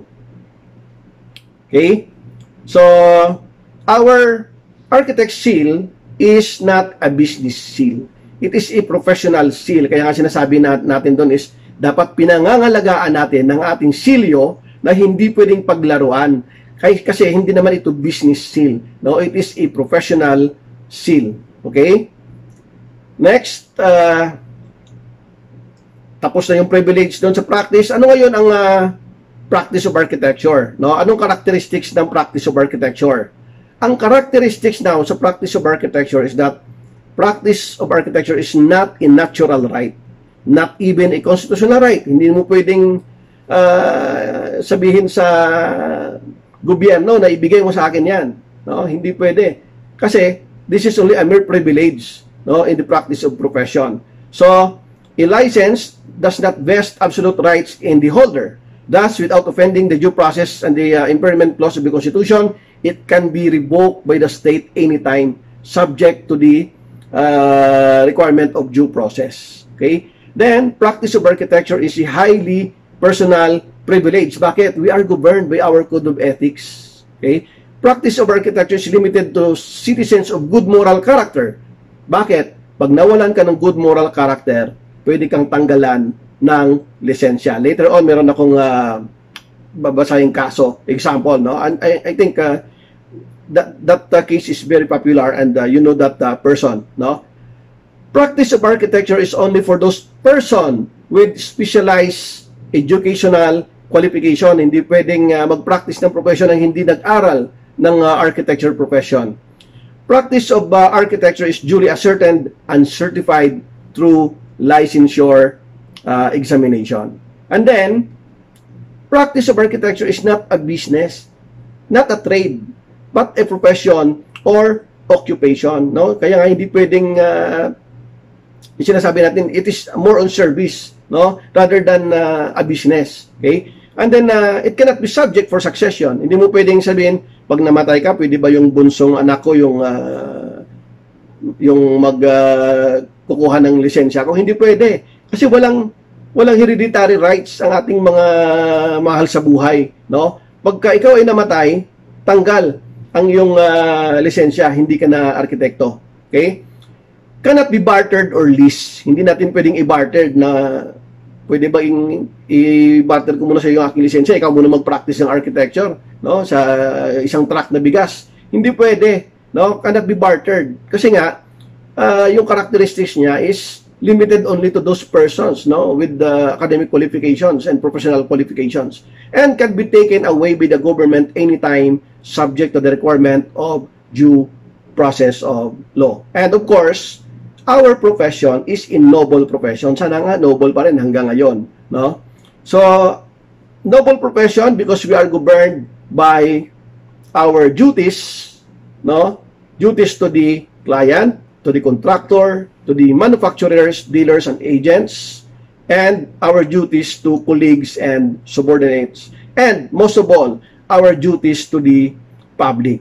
If there is a conflict between that duties and the duties to the public, duties to the public shall prevail. Okay? Although, pag tinignan natin ngayon, most of our client is private clients and not really the public as a whole, no? Pero pag tinignan natin as a service, no? our duty is to the public. Kaya pag dininan mo yung Architect's Credo, di ba? We have our duty to God and to our country. No? Because that is our duty to the public. Okay? Next is, uh, who can practice architecture now? Pumasa ka sa board, no? alam mo na yung characteristics. So, who can practice architecture now? Only natural person who was issued a certificate of registration from the board is allowed to practice architecture. Okay? hindi pwedeng mag-practice ng architecture ang juridical person such as corporation. No, hindi pwedeng mag-practice ng architecture yan. Pag tinignan niyo yung ating section 37 ng uh, RA 9266, di ba? We are allowed to register as a corporation, a partnership, no, na mga lahat ng uh, mga friends mo as architects, no? Pero that corporation itself is not allowed to practice as a juridical entity. Kaya pag binasa mo yung ating section 37, the one liable, pag nagkaroon ng problema later on, is the natural person, the stakeholders, the architects, and not really the corporation. No? Ang uh, kagandahan lang dyan sa pag-register mo sa Securities and Exchange Commissions, sa DTI, is magkaroon kayo ng uh, isang corporate name. No? Pero the liabilities will be shouldered uh, personally by those persons who are stakeholders of the corporation. No? in view of the uh, personality of uh, separate and distinct personality between the corporation and a natural uh, person. Okay, take note. Ano ang lacking na requirements ng isang juridical person bakit hindi sila allowed mag-practice ng architecture profession? Una, ang juridical person hindi nag-aral. Wala silang academic qualifications. Only natural persons ang nag-aral ng architecture profession. A corporation cannot take licensure examination, hindi pwedeng mag-take ng exam ang korporasyon, kaya nga ah, hindi sila pwedeng mag, mag-practice ng profession a corporation cannot cannot take an oath, an oath no? Hindi rin pwedeng mag-take ang oath ng ng oath ang corporation no? Kaya nga minsan uh, marami sa atin nagre-register sa DTI and ang nire-register sa DTI ibang pangalan rather than those uh, provided in the certificate of registration. Take note ang pangalan na nire-register nyo sa DTI na hindi nyo pangalan is not allowed to practice architecture. They were only given uh, they were only granted by the DTI for that uh, trade name, no? Pero pag tiningnan ninyo, ang trade name na yan is hindi allowed mag-practice ng architecture. Hindi nga dapat pwedeng mag-appear siya sa title block ng ating ginagawang uh, mga plano. Bakit? That trade name is not allowed to practice architecture. Ang allowed lang to practice architecture is the uh, owner of that uh, trade name which is a natural person, no? Ang pwede lang mag-practice is kung sino ang nakapangalan sa Certificate of Registration issued by the Professional Regulation Commission. Huwag na kayong gumawa pa ng iba't ibang pangalan. No? Kasi, sa totoo lang, di ba, you are not proud of being an architect na ang, ang binigyan ka ng titulo ng uh, PRC na magiging arkitekto. Pag binasa niyo yung Certificate of Registration na nakalagay dyan, ang pangalan na nakalagay dito ay binibigyan ng pribilehiyo na gumamit ng titulong arkitekto or architect. Basahin nyo ang inyong certificate of registration. Tapos gagawa kayo ng sariling trade name na hindi naman allowed or hindi naman binigyan ng authority ng uh, Professional uh, Regulation Commission. And of course, di ba, you are not proud of later on pag sumikat. Ang sumikat is yung trade name, hindi yung pangalan mo being an architect of that uh, trade name na talagang binigyan ng authority ng uh, Professional Regulation Commission to practice architecture uh, profession. So, in this regard, no, mayroon lang nangyari kasi karamihan sa atin uh, in this practice of profession, uh, nagre-register ng business name, no? Nagkumuha ng business permit, no? Pagkatapos ng DTI, punta ng munisipyo, kumukuha ng uh, business permit. Ang tanong doon is, kailangan ba natin kumuha ng business permit? This is already an issue before with the dentistry. Merong isang uh, uh, dental clinic sa Gapan, Nueva Ecija yata. And uh, nag-practice siya ng uh, dental uh, profession without uh, business uh, permit. Okay? Nasita ng uh, City Hall dahil walang uh, business permit. Okay? Ngayon, ang uh, reason nitong uh, dentist is that this is a practice of profession. So, dapat hindi kami kumukuha ng business permit. Kasi sinasabi, totoo lang, ang sinasabi sa ating local government code, ang requirements lang natin is mayroon kang PTR. Professional tax lang ang, bay- ang babayaran natin, no?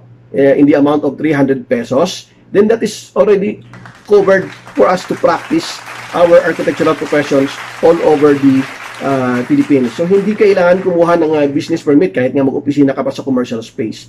Umabot ng court, no? Ano sabi ng RTC? Tama ang uh, dental clinic This is a practice of profession at hindi ito business. No, hindi dapat kumuha ng business permit kasi hindi ito business, no? Pero ang kulatilya is that maliban na lang kung ikaw may produkto na uh, nag nagtitinda uh, at the same time. Halimbawa, dental clinic ka. At the same time, nagtitinda ka ng mga dental apparatus. Din yung pagtitinda mo ng dental apparatus is a business and not part of your practice of profession. So in the field of architecture, halimbawa, meron kang office And nag-business uh, ka rin ng plotting services. So yung plotting services mo, meron business permit. Yung practice of profession is wala. Okay? So, yung uh, DILG, naglabas din ng kanilang uh, directives doon sa uh, Nueva Ecija, kung saan uh, municipality yung uh, nabilong, itong uh, dentistry na to. And sinabi ng DILG na tama itong uh, dentistry. Tama ang sinabi ng court na hindi mo kailangan kumuha ng business permit kasi practice of profession is an occupation, a profession and not a uh, business, no? Although, well, karamihan sa atin talagang natatakot sa sa local government units no na baka biglang ah, ipasara no biglang ah, magkakaroon ng penalties no but you know talagang hindi dapat tayo kumukuha ng business permit because practice of profession is not a business. Pag tiningnan mo yung provisions ng local government code wala diyan ang practice of profession as a business. Kaya nga hindi tayo dapat pwedeng uh, i-tax doon sa business permits na yan dahil practice of profession ito. Ang sinasabi lang ng local government code is kailangan natin kumuha ng PTR, our professional uh, tax, no, na inisyuhan tayo ng uh, uh, professional tax receipts. And yun ay uh, nilalagay natin sa mga documents nating uh, pinipirmahan yung ating PTR number. That is already enough.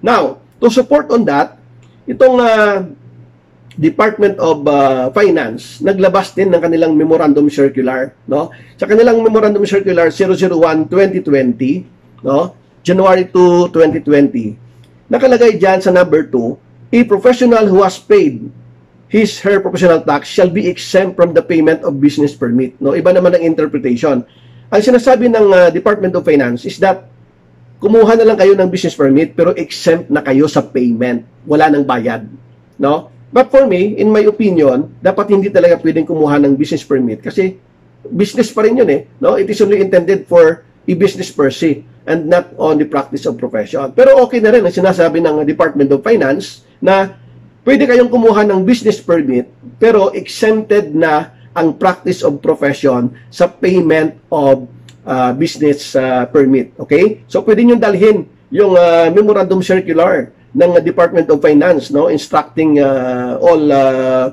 uh, local government units no na sa treasurers na uh, pwedeng kumuha ng business permit ang isang professionals pero exempt dapat sa pagbayad ng business permit uh, fees. Okay? So, yon yon ang sa uh, issue ng uh, business permit. Now, in uh, last year, 2019, meron na tayong bagong corporation code, no? And uh, nakalagay diyan sa Republic Act 11232, no? Sa bagong uh, corporation code, pwede na magtayo ng uh, one-man corporation, no? Kasi sa old uh, old corporation code, pagka nagtayo ka ng isang korporasyon, 'di ba, dapat tatlo kayo, apat kayo, no? Ngayon sa bagong corporation code, pwede ka magtayo ng isang uh, corporation na mag-isa ka lang, no? Considered ka na as uh, one man corporation no? Pag binasa natin yung uh, section na uh, 116 no? One person corporation nakalagay doon sa kanyang uh, second paragraph no? Uh, banks and uh, quasi banks print uh, printed trust insurance public and uh, public uh, listed companies and non-chartered government owned and controlled corporation may not incorporate as one person corporation. Provided that a natural person who is licensed to exercise a profession may not organize as one person corporation for the purpose of exercising such profession except as otherwise provided under special laws. Okay? Sinasabi, pwedeng magtayo ng one-man corporation pero hindi pa rin pwede sa practice of profession unless provided in special laws which is ang RA 9266 is special laws. Okay? And under Section 37 of RA 9266, we are allowed to register as a uh, corporate uh, uh, practice no as long that the members of that uh, corporation who want to register is all uh, registered architects okay? Only Filipino architects and 75% of that is architects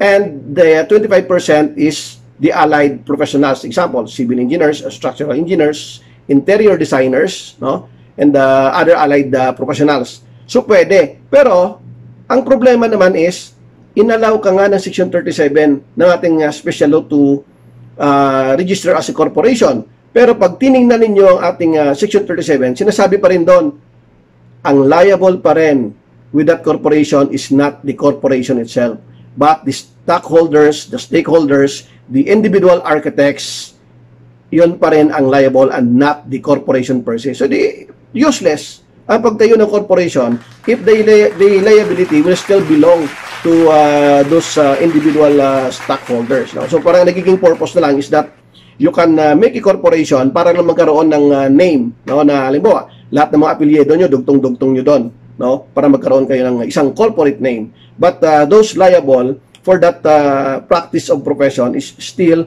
the individual architects who were issued uh, a certificate of registration by the Professional Regulations uh, Commission.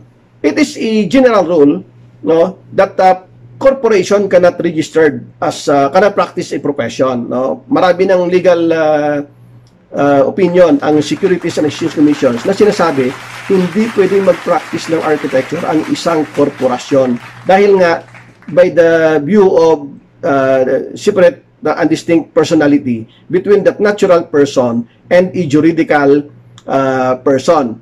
Okay, ito yung mga legal uh, opinion ng uh, Securities and Exchange Commission. Sabi ng uh, Securities and Exchange Commission sa mga opinion nila, the practice of architecture is a professional service, admission to which be determined upon the basis of individual personal qualification. So it is only intended for a natural person. Okay?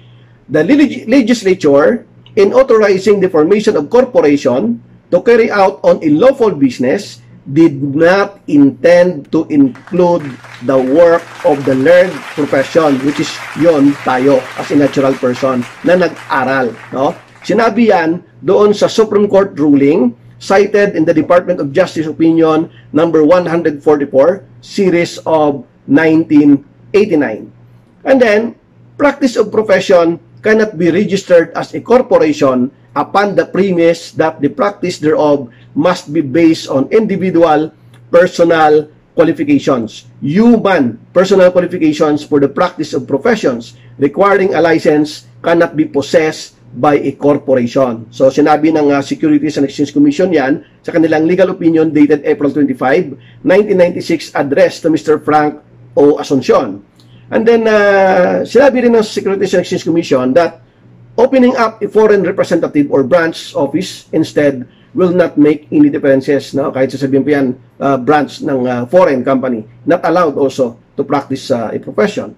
Personal qualifications for the practice of civil engineering and architecture professions cannot be possessed by a corporation and in view of the distinct and separate personality of a corporation from individual members or stockholders it could not have the power to do an act requiring a license which only the individual members or stockholders could obtain. No, sinabi ng uh, Securities and Exchange Commission opinion dated September 15, 1992, addressed to our very own architect Luis M.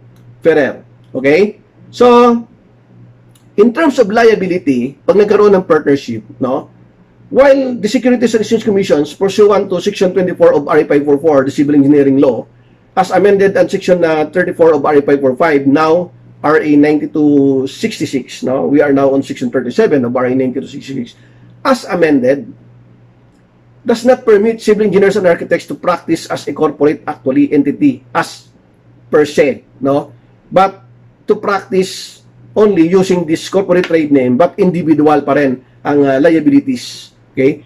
It allows engineers or architects to form and register as a partnership wherein all the partners thereof are duly licensed as such under Philippine laws. But in such case, it is the individual engineer or architect and not the partnership firm who engages in the practice of engineering or architecture and is responsible for his own acts as such. So malinaw, no? Na arkitekto pa rin, yung natural person pa rin ang magte-take ng liability and not the corporation. So parang nagiging useless lang. And palamuti lang yung uh, pag-open ng uh, trade name parating lang lang na medyo malaki ang uh, firm no? Pero individually yun pa rin ang uh, liable. Okay? As an incorporator or stockholder a duly licensed architect or engineer can be an incorporator or stockholder or be hired as an employee in a corporation engaged in other line of business such as construction company to render his services as such the hiring of which is merely incidental to carry out the corporate purposes, but in no case shall the corporation hire architects or engineers to carry out on the business of the practice of architecture or engineering. So hindi pwedeng mag-practice ng architecture or engineering ang construction firm. They are only allowed by contracting to construct and not as a design and build uh, services. Sinabi yan ng Securities and Exchange Commission sa kanilang opinion dated April 25, 1996 address to Mr. Frank O. Asuncion Sr., Securities and Exchange Commission opinion dated April 18, 1996 address to Mr. Nestor. Manglio, uh, Securities and Exchange Commission opinion dated January 4, 1994 address to Mr. Antonio A. Mansuelo. Okay? Because it is only the Professional Regulation Commission as the government agency which has the, the position to determine the extent of the professional services of the professionals and not the Securities and Exchange Commission. So sinabi rin yan ng uh, Securities and Exchange Commission sa kanilang uh, legal opinion dated December 15, 1993 addressed to Mr. Antonio A. Mansueto. Okay? So, next, can the word architects or engineers be used in a corporate name? Okay? So, as a general rule, no, uh, in a corporate name, sa korporasyon, hindi pwedeng gamitin dapat yung word na engineer, engineering, or architects. In a partnership, pwedeng gamitin yon. Halimbawa, Juan de la Cruz and uh, Jose Rizal, architects and partners. Pwede yon. On the uh, personal name no, of a natural person, pwedeng idugtong yon kasi pareho kayong arkitekto. But in a corporate name, as a juridical person, they are not allowed to use the, the, the word uh, engineer, engineering, architects, because that title will only be vested to you by the Professional Regulation Commission and not by the Securities and Exchange Commission because that is considered as a practice of profession, yung term na yon. Okay? So, they can use only the word engineering as part of the corporate name as a general rule, no? Uh, only for uh, the use not to confuse the public na that such uh, merely modifies another word pertaining to a thing, a product which a corporation intends to manufacture or sell but not on the practice of the architecture and engineering uh, profession. Okay, may a foreign architect and a Filipino architect form a partnership? The answer is no. Malinaw sa atin section 37 that the partnership should only be for Filipino citizens. So hindi pwede. How about non-registered persons? Mas lalong hindi because non-registered persons is not allowed to practice architecture. So ang non-registered persons hindi pwedeng maging kapitalista no sa practice of profession although well in real uh, life nangyayari no so I don't know how does uh, the board should address that uh, issues no now uh, na na-discuss na natin who can practice architecture privileges sino ngayon ang hindi pwedeng mag-practice ng architecture Okay? Letter A, those persons who are not registered and licensed as architect by the Professional Regulation Commission is not allowed to practice architecture. No? Pag hindi ka uh, na-register sa board, wala kang uh, certificate of registration, you are not allowed to practice architecture. No? Nasa section 22, section 25, section 29, section 34, and section 36 ng RA 9266. Those foreign architects who are not holder of a special temporary permit issued by the Professional Regulation Commission under its regulatory board, hindi rin pwedeng mag-practice ng architecture sa Pilipinas. Although maraming foreigners na pumapasok dito no, sa Pilipinas. Then, uh, those registered and licensed architect whose registration are being revoked. Pag na-revoke yung license mo, yung authority to practice mo, yung certificate of registration mo, you are not allowed to practice architecture anymore. Okay?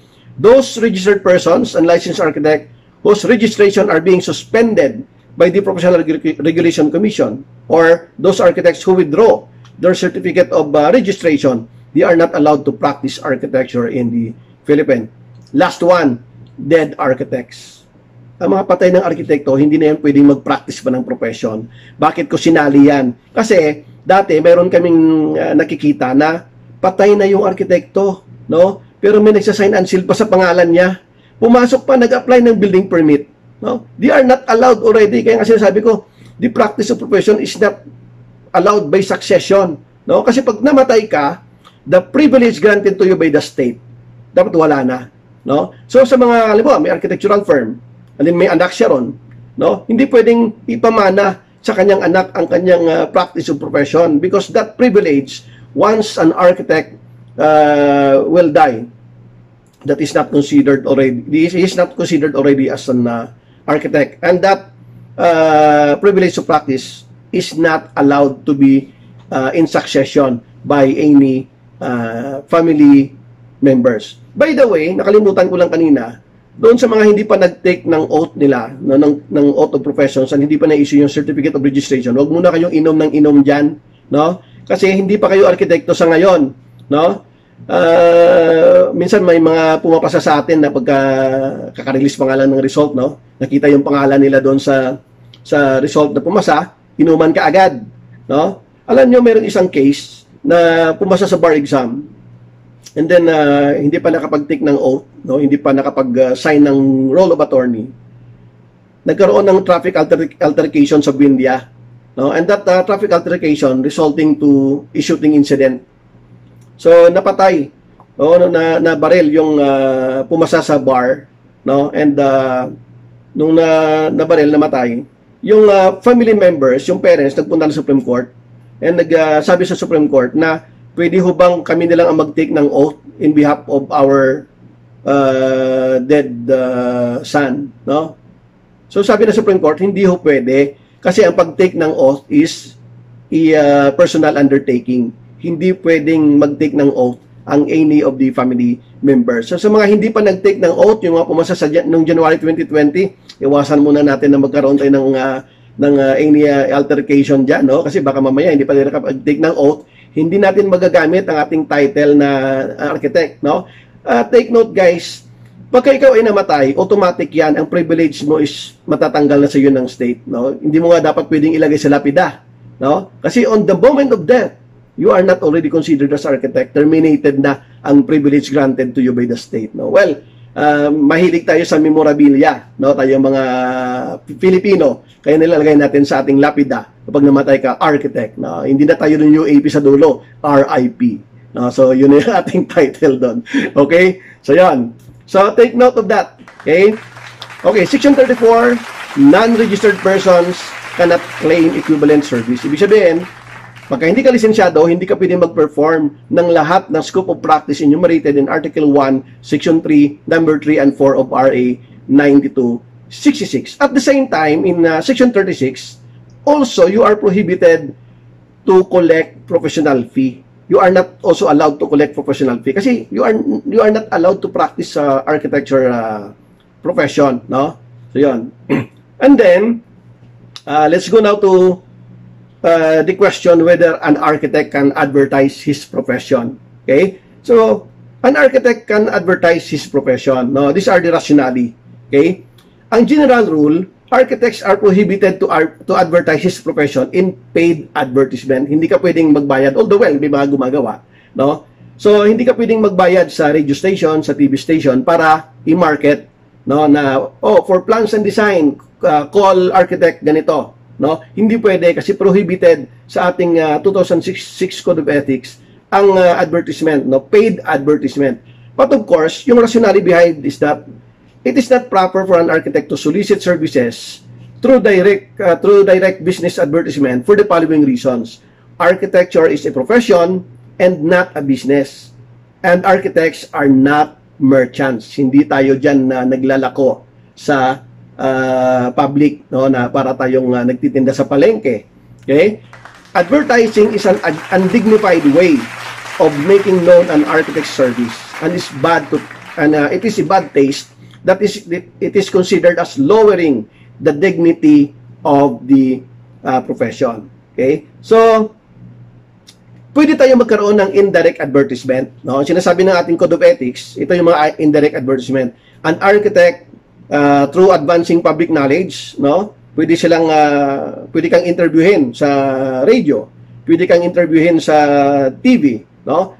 for advancing public knowledge. Pero kung interviewin ka at sasabihin mo doon sa, sa interview, no, na uh, sa akin na kayo magpagawa kasi mura ako, bawal yon no? Ang uh, ating advertisement is only to advance public knowledge about our profession and not solicitation. Okay? An architect may opt to write books. No? Example, ako, nagsulat ako ng libro. No? Nagkaroon ako ng dalawang libro. So, part yan ng, adver- ng indirect advertisement also ng isang uh, arkitekto. Halimbawa, nag-advertise ka ng libro mo sa radio station, sa TV, allowed yon because you are not soliciting uh, works no for the public and that is not uh, paid advertisement. Be a regular columnist of a publication, no? 'Di ba? Sinasula president natin, meron siyang column sa sa Manila Times. No? So allowed 'yon. That is uh, an indirect uh, advertisement for the advancement of the profession. And then uh, active uh, participation in any forum, seminars like this, no? So allowed 'yon as an uh, indirect advertisement of an uh, architect. Okay? Ang prohibited na sinasabi ng ating Code of Ethics is that bawal ang paid advertisement, bawal ang self-laudatory, yun ang uh, nagbubuhat ng bangko. Bawal yung exaggerated, yung sobra-sobra naman pagka nagkwento ka ng iyong uh, profile, no, kahit hindi naman totoo, sinasabi mo na ganito ka, no, bawal na bawal as an advertisement ng isang uh, architect. And then of course, misleading publicity. Yun ang pinagbabawal sa ating uh, section uh, 3.4 ng ating uh, Code of Ethics. Okay? So, may mga instances where solicitations may be permitted. Example, by the use of an architect's service profiles. No? So, siyempre, pag nagbigay ka ng iyong service profiles, nakalagay doon ang iyong letterhead. No? Nakalagay doon yung logo, nakalagay yung pangalan mo. That is considered as uh, solicitations but permitted under uh, our Code of Ethics. Okay? By the use of our architect's letterheads, uh, by the use of our uh, business cards. No? Take note guys, ha? always use the uh, term business card. Do not use the term calling card. Marami kasing gumagamit sa ating mga professionals ng calling card. Ang calling card ho, pang call boy, tsaka pang call girl lang yon no? Ang sa atin ho is a professional business card. Oh, dapat uh, professional business card ang ating term na ginagamit. Okay? And then uh, by the use of the architect's uh, professional uh, biographical and then, uh, informative data, resume mo, no, yung yung CV, no? Inclusion of an architect's name in telephone directories that is uh, allowed as uh, uh, solicitations, no? Kasi, di ba, pag nilagay naman yung pangalan mo doon, siyempre maglalagay ka ng title na architect or uh, halimbawa, uh, naglagay ka doon ng uh, pangalan ng firm mo sa Yellow Pages ng uh, telephone directory, allowed yon no, ng ating uh, Code of Ethics. That is uh, considered as solicitations but permitted. Uh, inclusion of an architect's name in the organization membership directories, allowed. Publication of an architect's name in a newspaper and soliciting hiring of employees, allowed din yun, no, pag nag-hire ka ng, uh, ng employee. No? Eh, sir, paano sir pag sa obituaries? Allowed. No? Kasi obituaries naman yon no? Eh, paano sir pagka, alam ba, meron akong business, no? Sasabihin ko doon na uh, uh, architect uh, last year, dealer of uh, Avon products. No? That is allowed kasi ang, pinu- ang pinopromote mo naman is uh, Avon products and not your uh, architectural uh, services. E nagkataon lang doon, sinabi mo doon na uh, architect uh, last year, distributor of Avon products. No? Kasi title mo naman yon. So that is also considered as uh, indirect uh, advertisement which is allowed under our code kasi hindi naman ang practice of profession mo ang iyong uh, tinitinda ron, no? But uh, other products, no, na, na pwede. Okay. Eh, sir, paano yung mga streamers, no? Pumasa ako, na na-welcome ako sa aming uh, bayan for example no? Welcome architect ganito ang laki ng streamer no? Isang buong uh, road right of way. Uh, bawal ba yon hindi naman bawal no? Pero ang ang problema natin yon is baka uh, self laudation naman siya no? Sobra-sobra naman yung uh, yung uh, pag-greet natin sa ating uh, colleagues no kasi sinasabi nga natin pag tinignan natin ang ating section 3.7 ng ating 2006 Code of Ethics, ang ating advertisement, no, dapat in imbodest manner, sa pinakamababang paraan dapat, no? So kung nakalagay diyan na halimbawa nagkaroon ng streamer diyan, sobrang laking-laki, no? Tapos isang taon na, isang taon ka nang pumasa, nandiyan pa rin sa gitna ng road right, road right of way, no? Hindi parang solicitations na 'yon, no? So 'yun mga pinagbabawal. Okay? So 'yun. Ang uh, pinaka-objective dito is it should be in a modest manner, no? Ito nga uh, sa isang nabasa kong case, no? Nakalagay dito na a business card 3 inches by 4 inches, o di ba lumabas siya doon sa standard ng size ng business card, no? 3 inches by 4 inches size indicating data and photo. May picture pa. sinabi doon sa nabasa kong uh, libro na unethical. The size of the card and the inclusion of the person's photo takes it away the ambit of immodest manner that are allowed by the code. No? It is a form of self-laudation, is undignified, and considered as commercialism. So, di ba?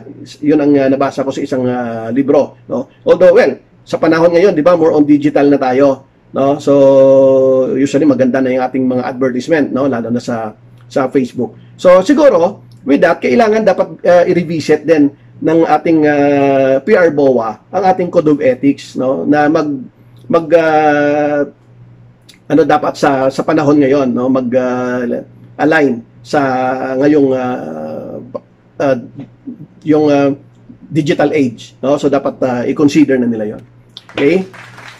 And then uh, advertisement no? Uh, ownership of plans. Uh, I, I just want to tackle this uh, ownership of plans no? Kasi uh, tayo mga arkitekto uh, nilalagay natin sa ating uh, title block no? Ang uh, section 33 pero naiintindihan ba natin ang nakalagay sa section 33 ng ating uh, RA 9266 no?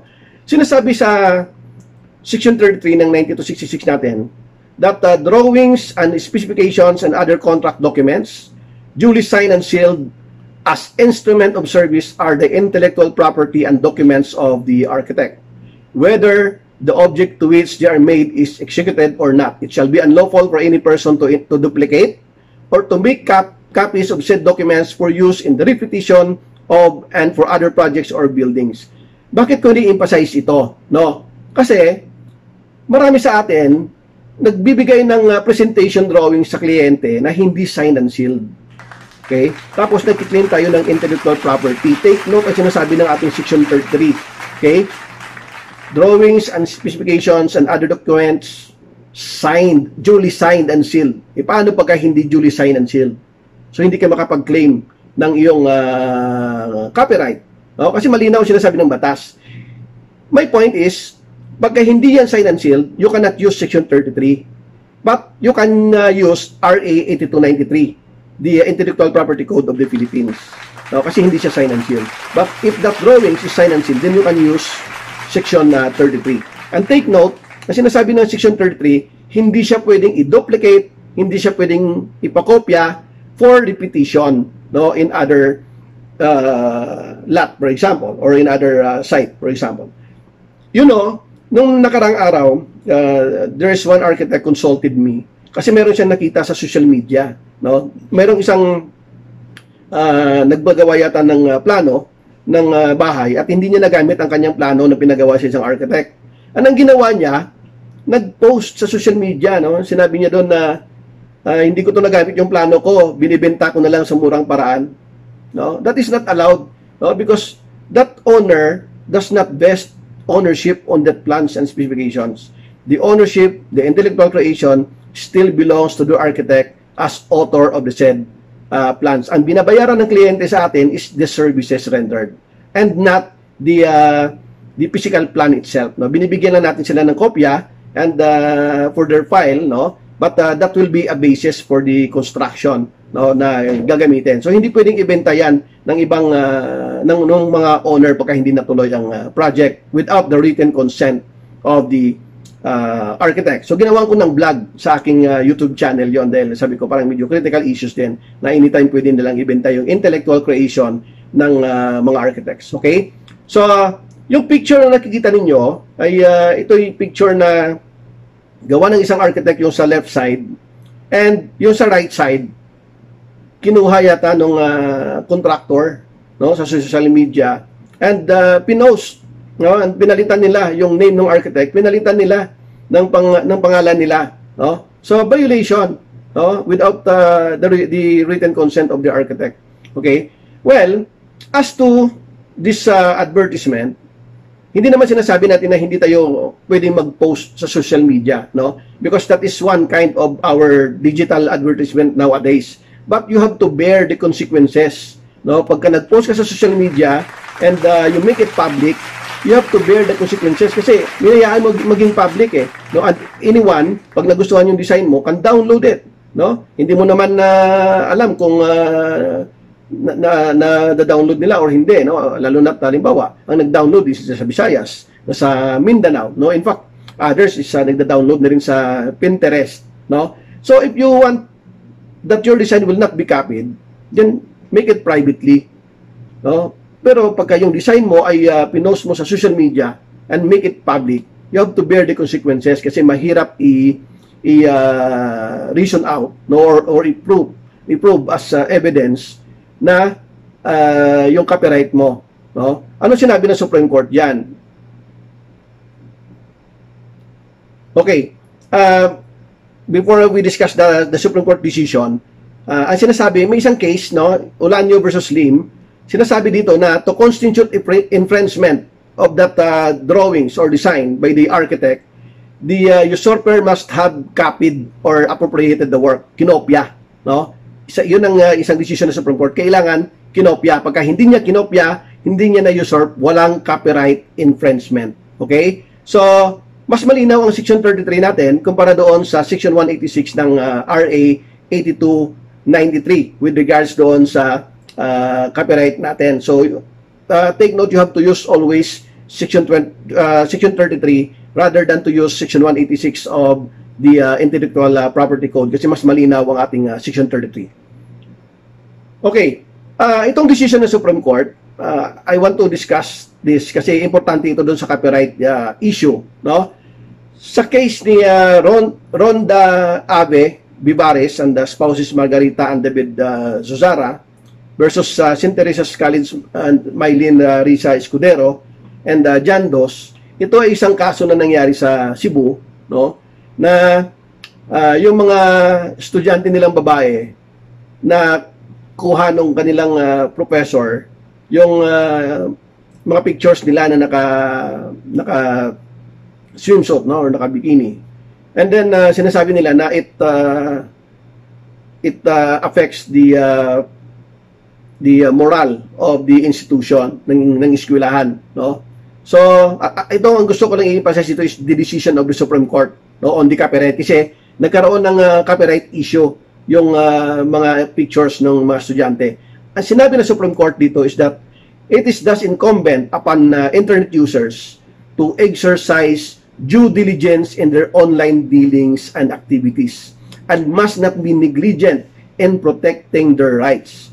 Equity serves the vigilant, demanding relief from the courts as he requires that claimants themselves take utmost care in safeguarding a right which they allege to have been violated, these are indispensable. We cannot afford protection to persons if they themselves did not or did nothing to place the matter within the confines of their private zone. Online social uh, media users must be mindful enough to learn the use of privacy tools, to use them if they desire to keep the information private, to keep track of changes in the uh, available uh, privacy settings, such as those of Facebook, especially because Facebook is notorious for changing these settings and the site's layout often. So, sinasabi ng court dito na kung ayaw mong uh, hindi magaya, kung ayaw mong hindi tingnan ang iyong mga pinopost, no, para ma-download ng iba, makopya ng iba, make it private. If you are not using uh, that privacy tools, no, na ginawa mo siyang private and that is public, sabi ng korte, wala kang karapatan mag-demand sa court na proteksyonan ka because you make your your uh, postings public. Okay? So yun ang sinasabi ng uh, korte. 2014 decision lang to ng ating Supreme Court. Okay? So take note sa mga uh, ating uh, social media users, no? Now, let's go to the Code of Ethics. Malapit na tayo matapos. Okay?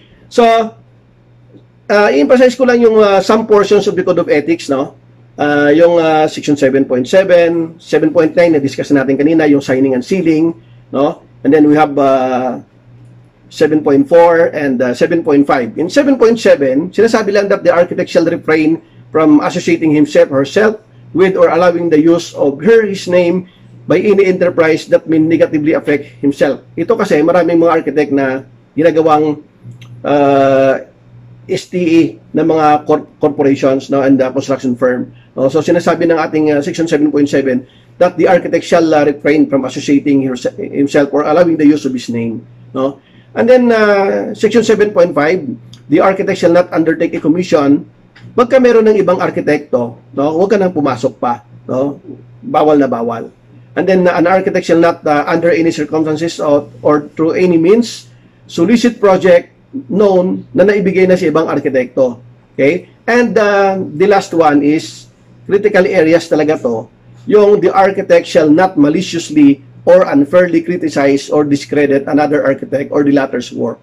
So kung nakita mong pangit yung gawa ng isang uh, colleagues mo, pumunta sa iyo yung isang kliyente, huwag mo nang siraan pa sa isang kliyente kasi bawal. No? Tingnan mo yung mga doktor. No? Pagka hindi ay, pag ikaw ay hindi gumaling sa sakit mo at pumunta ka sa ibang doktor, magsisecond opinion ka, sabihin na ng ibang doktor, ah, baka yung gamot na binigay niya siguro baka hindi ay, ano yung katawan mo no so subukan natin yung ganitong gamot hindi nila sisiraan ng kanilang colleagues so dapat the same that will happen to the practice of architecture profession no uh, we should not uh, maliciously or unfairly criticize or discredit any another architects or the uh, architect's uh, latter's uh, work. Okay? Sources of authority, saan nanggagaling ang ating source of authority? It is on the certificate of registration and not on the PRC ID. Okay. Ito ngayon, gusto ko i-emphasize under uh, section 7 paragraph E of RA 8981, no? Nakalagay dyan, to admit the successful examinees to the practice of the profession, isang duty ito ng uh, ating uh, PRC no, and the board, cause the entry of their names on its registry book and computerized database, issue a certificate of registration and professional license. Take note of the word, ha? issue certificate of registration slash professional license. Yan ang mababasa natin as one duty ng PRC and the board sa RA 8981 or the PRC Modernization Act of 2000. Bearing the registrant's name, picture, and registration number, signed by all the members of the board concerned and the chairperson with the official seal of the board and the commission affects thereto, which certificate shall be the authority to practice. Malinaw na sinasabi ng uh, batas sa PRC na ang ating authority to practice ay nanggagaling sa ating certificate of registration. Tingnan ninyo yung kadugtong. And at the option of the professional concerned ministerially issue the professional identification card to be used solely for purposes of identification upon payment of the appropriate amount. Ibig sabihin, hindi dapat mandatory ang Professional Identification Card or PIC, uh, PRC ID. Ang pinaka dapat protektahan natin dito is the Certificate of Registration and not the PRC ID. Oh, ma- mahirap lang kasi dalhin ang uh, Certificate of Registration, no? Na travel ka every time dala mo yung naka-frame na Certificate of Registration. Kaya kumukuha tayo ng PRC ID. But under the law, ang PRC ID is not mandatory. It is only optional. No? So, malinaw yan. Okay? So, ang nakalagay sa PRC ID, pag makikita ninyo sa likod, certification. No? In that PRC ID, wala kang mababasa dyan na title na yan ay uh, professional license. No? Di tulad sa LTO. No? So, ang makikita mo dyan is professional identification card. It is only in normal ID. Okay? And sa likod niyan, ang mababasa mo, certificate uh, certification this is to certify that the person whose name photograph and signature appear herein is a duly registered professional legally authorized to practice his or her profession with all the rights and privileges appertinent thereto this is to certify further that he or she is a professional in good standing and that his or her certificate of registration is not been revoked, suspended, or withdrawn. So, sinicertify lang ng ID na yan na hindi withdrawn, hindi suspended, hindi na-revoke ang iyong certificate of registration dahil yon pagka na-revoke, wala ka ng authority to practice a profession. So, sinabi rin niya ng isang prominent author ng taxation no, sa libro niya na uh, Bar Q&A, no, 50 Years of the Bar, ni Abelardo Dumondon. Sinabi niya doon, this was also observed by one of the author na Sinasabi niya, furthermore, RA 8981, the PRC Modernization Act of 2000 does not require renewal of the professional license or registration. Okay? So, yon. Ito naman ang sinabi ngayon ni Robert Sack, no, ni Chairman. And take ID is a representation of your license to practice. ID is not your license. I ID this simply identification card representing your license.